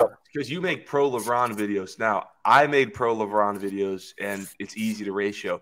Make an anti LeBron video. Now, you're not going to do that for your brand, but dude, whenever I make a subtle anti LeBron video, it just gets eaten up. My videos now, I've made so many like my air on this podcast has just been like anti like like not like the I was about to say anti-establishment, but like anti-casual narrative. Like I try to like say the 2016 run was weak. Um, I Which it was, say- dude. I, I agree with that. It wasn't a hard run. The Yeah, finals, yeah. I never thought you would agree with that. bro, One hundred percent. They played, bro. Who did they play? They played Detroit. They played the Raptors, and they played And the um. Hawks, Atlanta. and the Yeah, they played And the Atlanta. Hawks were- Hawks Who was their best player? 6-point team. It was either like Horford or Millsap, was- right? Yeah, they had Paul Horford, Millsap, Millsap Josh Horford was on below that team too. 40%. Like, and Mike, dude, Mike Budenholzer. I'm not taking any team seriously that he fucking coaches. The guy's overrated as shit. Like he's he's Like- a but bro, I I do think that run was overrated. I think the finals is what makes that run. Like I made a video talking about if the Heat won the championship, where would rank around among playoff runs all the time. And I think you commented on it, Steven. I think you you said that you don't think the Cavs run was that good. And I think what puts it high for me is the fact that they, you know, that they won, they beat the Warriors, 7 3 9 Warriors. But the run itself, bro, Detroit and fucking Atlanta and, and the Raptors, not not a hard one at all. And they were the best team in the East that year. They were by far the best team in the East. that Kyrie, year. They were- Kyrie, LeBron's And- second best player was better than Yeah, any other like- first. Yeah, by far. That entire run, he was better I than think, DeRozan, uh, better than Millsap, better than Drummond. Like, well, I think Drummond I was think- the first option. I, I think, think it was Tobias LeBron's Harris or best Morris. year- But I think LeBron's best year of like competition based is 2012. Um, yes. you got I forget who they played in the first round. Who They did played, I think, the Knicks. No, The that Knicks. was 2013. No, it was the Knicks. next. It was the next. the Knicks, right? Knicks Yeah. fan, by the way. Five. Knicks fan, by the way. Um, and then Who's a Knicks fan? They Johnny? played the Herb, sadly. Oh, really? Uh, uh, second round, they play the Pacers. They're down two one. So like, I'm not saying they're gonna win, but like they're putting up a good fight. And then obviously Boston. Like Boston was the best defense in the league. And that And game five, obviously, that like game six is the best game. To me, it's the best game ever. Game six against Boston LeBron. 45, 12, and 5. You'll that never, adds bro, so much to his legacy. bro, Yo, if that- LeBron loses that game, that impact on winning stuff goes completely. no, out. I'm just saying if LeBron loses that game, oh my god. Yeah, they would have broken up the big three. Probably was going to break up the big three and fucking basically just fail the experiment. But the fact that he like that's my problem. Like the whole that's another narrative that I hate. The talking point, and it's straight from the Skip Bayless, fucking like all these network shows. LeBron's not clutch. Come on, you know what I Speaking of mean? Like- Network show, bro. He's either okay, he's either one or Howard two. yesterday or the other day saying that Austin Reaves and Mac McClung were comparable. And he was showing Austin Reaves' career when it's obviously stupid because Austin Reaves became got actual minutes and became good post the All Star break. So show his numbers post the All Star break, and he was averaging like twenty too. Like, on, he on got forty. in the postseason. Exactly, No, bro. I will. And I Matt will say McClung, I think, about played LeBron. like four games in the NBA too, and he Mike showed McClung, like he yeah, sucked, he compared bro. him to Mac McClung. Uh, LeBron, LeBron, okay, I will say this: you don't have to think LeBron's like the clutchest player ever. He's either two. He's either two or one. Like A no hundred doubt percent. About it. But the conversation That's about why LeBron, I don't do this debate. I couldn't care about it any less. I Yeah, I think don't like if you look, that. if you're looking at the most toxic debates in America, you got politics, religion, and Michael Jordan versus LeBron James. Oh yeah, by far, bro. Trust me, I, I've gotten death threats over the fucking Michael Jordan thing. It's crazy, bro. Like people Death take it really- Yo, yo, Yo. in ten years, in ten years, it's gonna be Mahomes and Brady. But anyway, uh, Nah, Mahomes clears. Let's be honest, guys. Mahomes is a better player. Mahomes is a better Mahomes, player. Mahomes gets another MVP, another Guys, Super Bowl. my guys, my, dude, my, no, That- no, that's not a bad take. dude, bro. watch them with your eyes. Who is the better player? It's Patrick Mahomes. He may have played the best Super Bowl in a loss I've ever seen. Motherfucker was throwing parallel to the ground, hitting receivers in the fucking face mask, bro. I've never seen him. He's he's insane. To me, he's yo, I can't even but- hear what you're What's saying. I'm gonna not hurt listening. Mahomes? What's gonna What's gonna hurt Mahomes is because I yo, think uh, when he won Matt- the Super Matt Bowl, has I autogram over Mahomes. yeah, that's a bad take. When I when I used to talk football on this pod, again, when football season was a thing, we did talk football, ladies and gentlemen. Um, I said after the Super Bowl that Patrick Mahomes is an easy goat debate, but what's going to get in his way is that loss to Brady. To add a context to casuals, it's going to get in his way. Now to ball knowers who see that was an lopsided affair, especially offensive not gonna line, matter that much. line. Um, it was a big deal. bro. He was missing his whole O line basically. No O I line. think didn't he have Mike Remmers playing like Yeah. like like right tackle I think, though? I think they were missing. Air, they're missing both. They, they, they were missing Schwartz. That uh, Osemele was missing for that entire year. Who uh, else did they Fisher have? got hurt the previous F- game. Fisher. Fisher was hurt. He It he was tore his one of- ACL just the game one before the that. best, if Actually, the best front seven in football, and you're getting absolutely no time to throw. You're hitting dudes like you said right here. They're And dropping. parallel it. to the ground. I think. I think. I think Brady's like longest completed pass in that game was like 12 yards. Yeah, it was crazy, and I think it was a touchdown to Gronk. Yeah, Yeah. I think it was that touchdown. To Gronk. Yeah, it was a touchdown to Gronk. And, but bro, When he like, had guys- like what 20 seconds to throw. By the way, Somebody yeah, remember- bro, he was on one. No, like hypothetically, let's say like Michael Jordan, and LeBron played like NBA Finals. Like if like MJ, if MJ like beats like LeBron, they're like, oh, goat debate over. Doesn't fucking matter. I was like, bro, like, what if LeBron just like outplays MJ in that se- like, yeah, exactly. like, Right. Like, like, like that, that- That's what I say. It's like being the winner and being the best player doesn't mean that you were the best player in the series. You could say maybe like you're the most impactful to winning, but it doesn't mean that you're better than somebody. Which is why, well, which is why when I tell people like when I'm looking at a guy like Jerry West, who I think is hmm. like one of the six best playoff performers ever, people are like, "Oh, well, he's one and eight in the finals." Look at the way that he was playing in those finals. And the That's the teams he was going up against, hmm. bro. Look at the teams he was Kobe playing. Bryant. Yeah, I'm telling you right now, if LeBron did end up, if LeBron in 09 or 2010 ended up going to the finals and played Kobe and oh lost, my god, I don't want to hear about it, I'm bro. would've been terrible. majority of people in America to this day, if LeBron would have had a loss in the finals to Kobe, would have Kobe higher than LeBron all time. And Bro, they may put him one. They may put him one. I don't know what's worse, the Kobe fans. I Nah, they'll still worse. put him below MJ, but Bro. I'm just saying Kobe would be two, and LeBron would never be above Kobe. If think, no, I'm gonna put this on the plate. This is gonna be for TikTok. This is gonna be a clip. Like, imagine if LeBron James would have went to an NBA Finals in 09 and 10 and played Kobe and lost. Oh my god. I think to most people, LeBron's not even higher than Kobe. He's not. Like, it would, it, it, it, it, it would not it would not matter Kobe. like that. It would not matter like that. Dude, That's the I thing. to Kobe fans, to MJ fans, to old heads, out of context. If Kobe would have won head to head against LeBron in the finals, it would automatically remove LeBron from Kobe discussions. It would Not all depend Kobe. of the context of which he uh, of which he would have lost that series. If he would have played great, uh, maybe on the same level as Kobe, that. and then went on to do everything else that he was going to No, do, my thing- he would thing- still be better. Like it, it wouldn't have mattered if LeBron still had that run like like 2011 and now. Like it still wouldn't have mattered. People would It still. wouldn't put matter. Kobe Try having a LeBron. LeBron versus Kobe debate with a Kobe fan when Kobe Bryant has more championships, especially if one of those championships came beating LeBron. Beating LeBron, oh my god, bro, and that's actually a more toxic debate than the LeBron Jordan debate. That would be the most- LeBron I, I honestly Yeah. agree. bro. That the LeBron Kobe debate is more toxic than the LeBron Jordan debate because Kobe fans are really like they. Well, think about it like soccer. I'm a, I'm a diehard Kobe fan. That's the thing, but that's the thing that like I don't associate myself with all these other Kobe fans who put him in these discussions that he doesn't belong in. It's like I don't think Kobe even belongs in the same discussion. Uh, th- uh, th- not not with not with LeBron and Jordan. I don't even think he's in the same discussion as Kareem, Bill, and Bill Russell. no. It's just And like football because Or, I think Shaq. I don't think. I don't think him and Shaq are close. No, It's I think just- Kobe. I think like Shaq is At, least at, least at least the peaks are not close. It's just like the NFL. Like I think Mahomes can clearly has a clear goat path. But to most people, he'll never be the GOAT. And one of their Because biggest Brady talking points will be because Brady beat him in the Right. Super Bowl. Out of context, that would be their mo- that, That would be the not be biggest talking reason. point. That would be the same thing if Kobe. It would have been like if LeBron would have lost to Kobe in the finals. And think about it like soccer. This didn't happen, but what if Ronaldo and Messi matched up in the World Cup and Ronaldo beat Messi? Yeah. Ronaldo would be the GOAT. Well, they did match up in the Champions League final, and Messi wiped his ass, so that happened. Oh, But yeah. what- Oh, yeah. But what was I gonna tell you, bro? Um, um, think about this. Think about the narrative around LeBron James's career. If in 2018 he blows a three-one lead, Yeah.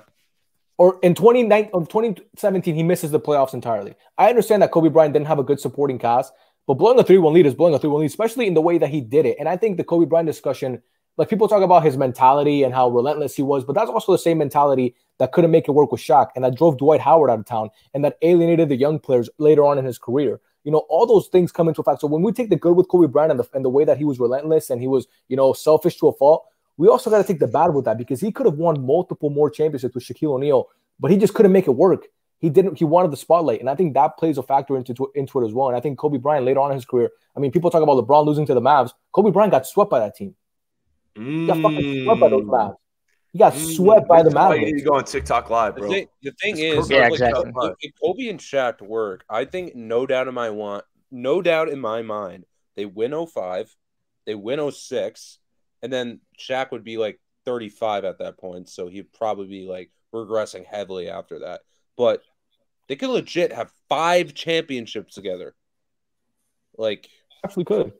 They were the I, th- I think if Shaq was to continue playing like he always did in the finals in like 2000, Mm, 2001, yo, and was here, here, consistently here, doing here. that throughout the series, Here. I would put him over Kareem. Yeah. Are they beating Detroit the next year?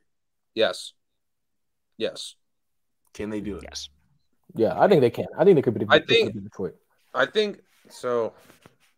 And so I'll go to the bathroom real quick. One with. Detroit, with Detroit, I never thought like Detroit. I thought Detroit was like a one season team, like a one season championship team. I never thought they would get over the hump again. So maybe maybe the Lakers like with Shaq seven. Then I'm pretty sure they went seven no five to the Spurs. Yeah, but like the Spurs were just like better. Like I don't know. But the Lakers were just better in 04. Mm. The Lake the the Lakers had a lot of old veterans like on that team. They had Gary Payton. Yeah, yeah, yeah, yeah. They had Malone and GP on that team. Oh, and, that's and, the other and thing about the Shaq and Kobe thing about like, what if Shaq and Kobe ran it back? What would the rest of the roster look like that following year? That is a good question. They still have Derek Fisher, probably. They probably bring back Yeah. Derek Fisher. Um, They don't have Lamar Odom because Lamar Odom was in the Shaq trade. yeah, that's true. Um, How do they fill out that rest of the roster? That's the also They thing could def- they could definitely they could definitely do it. I like they'd be fine. because people Um, always say like, "Yo, if Shaq and Kobe would have stayed together, they would have won multiple more. They would have won more championships." But my thing is, well, can they beat Detroit again the next year? I don't know. And My thing is how would they feel? How would they even got to the finals? How would they beat San Antonio if the rest of the roster isn't going to fill out? Because they struggled. I will to say build, this, they struggled to build the rest of the roster when Shaq left. Kobe was with a bunch of scrubs for two years. How do they fill out the rest of the roster? I will say this though. I think if Shaq stayed, it would benefit Shaq more than Kobe. Like, oh yeah, one hundred percent. because I don't think Kobe would have ever reached his like peak level like elite play. Like, in all time too, because Yeah, yeah, like- under Shaq again. But at Like- that point, I think Kobe was better than Shaq at that point. But into 04, mm, 05, I think Kobe was probably better than Shaq. in 05, mm, Shaq was really good that year. Yeah, didn't he finish second in MVP to Steve Nash? Yeah, Yeah, he did. MVP also has to do a lot. I think I think Shaq was as better well. that year. I'm not gonna lie. I think it's Kobe. I think Shaq Um, peaked for peak as the best peak in NBA history to me. really. Oh wait, The no, sorry, third, third, third, third. I would say third. Sorry. Okay, okay, Yeah, okay, I- okay, yeah, yeah, I misspoke, same, I same. I- misspoke. I'd say I'd say Jordan, Bron, well, Bron, Jordan. Then I'd have Shaq. Yes. Um, It would be like 93 Steve. Bron, 91 Jordan, or whatever, So, and then I think- uh, I think 2000 Shaq. I, I think the top five peaks is 94 Hakeem Olajuwon, four is 1977 Kareem Abdul-Jabbar, three is 2000 Shaq, two is 13 LeBron, and one is 91 MJ. 91 MJ was on one, bro. He was a You're good missing player. a player. He was insane that You're literally missing a player. June flight reacts. Oh my god.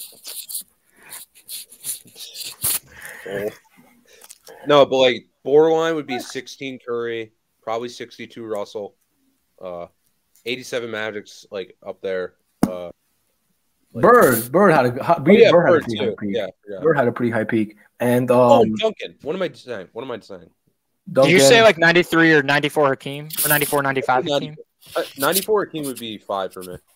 Okay, yeah, yeah. I, I have 94 Hakeem top. Oh, he never said Garnett. He never said Garnett. Let's yeah, Garnett doesn't have a top 10 peak ever. Yo, Mitch, Mitch, Mitch uh, if, if you don't know this, some casual takes hates Kevin Garnett. You don't like Kevin Garnett? Um, I do, but I think this app, the Stop. No, you don't. Bro, I got flamed for saying I got flamed for saying that I think uh, Garnett was a better player than Dirk. People were like, "How could you say that? Did you see Dirk?" It's, it's a good 11? take.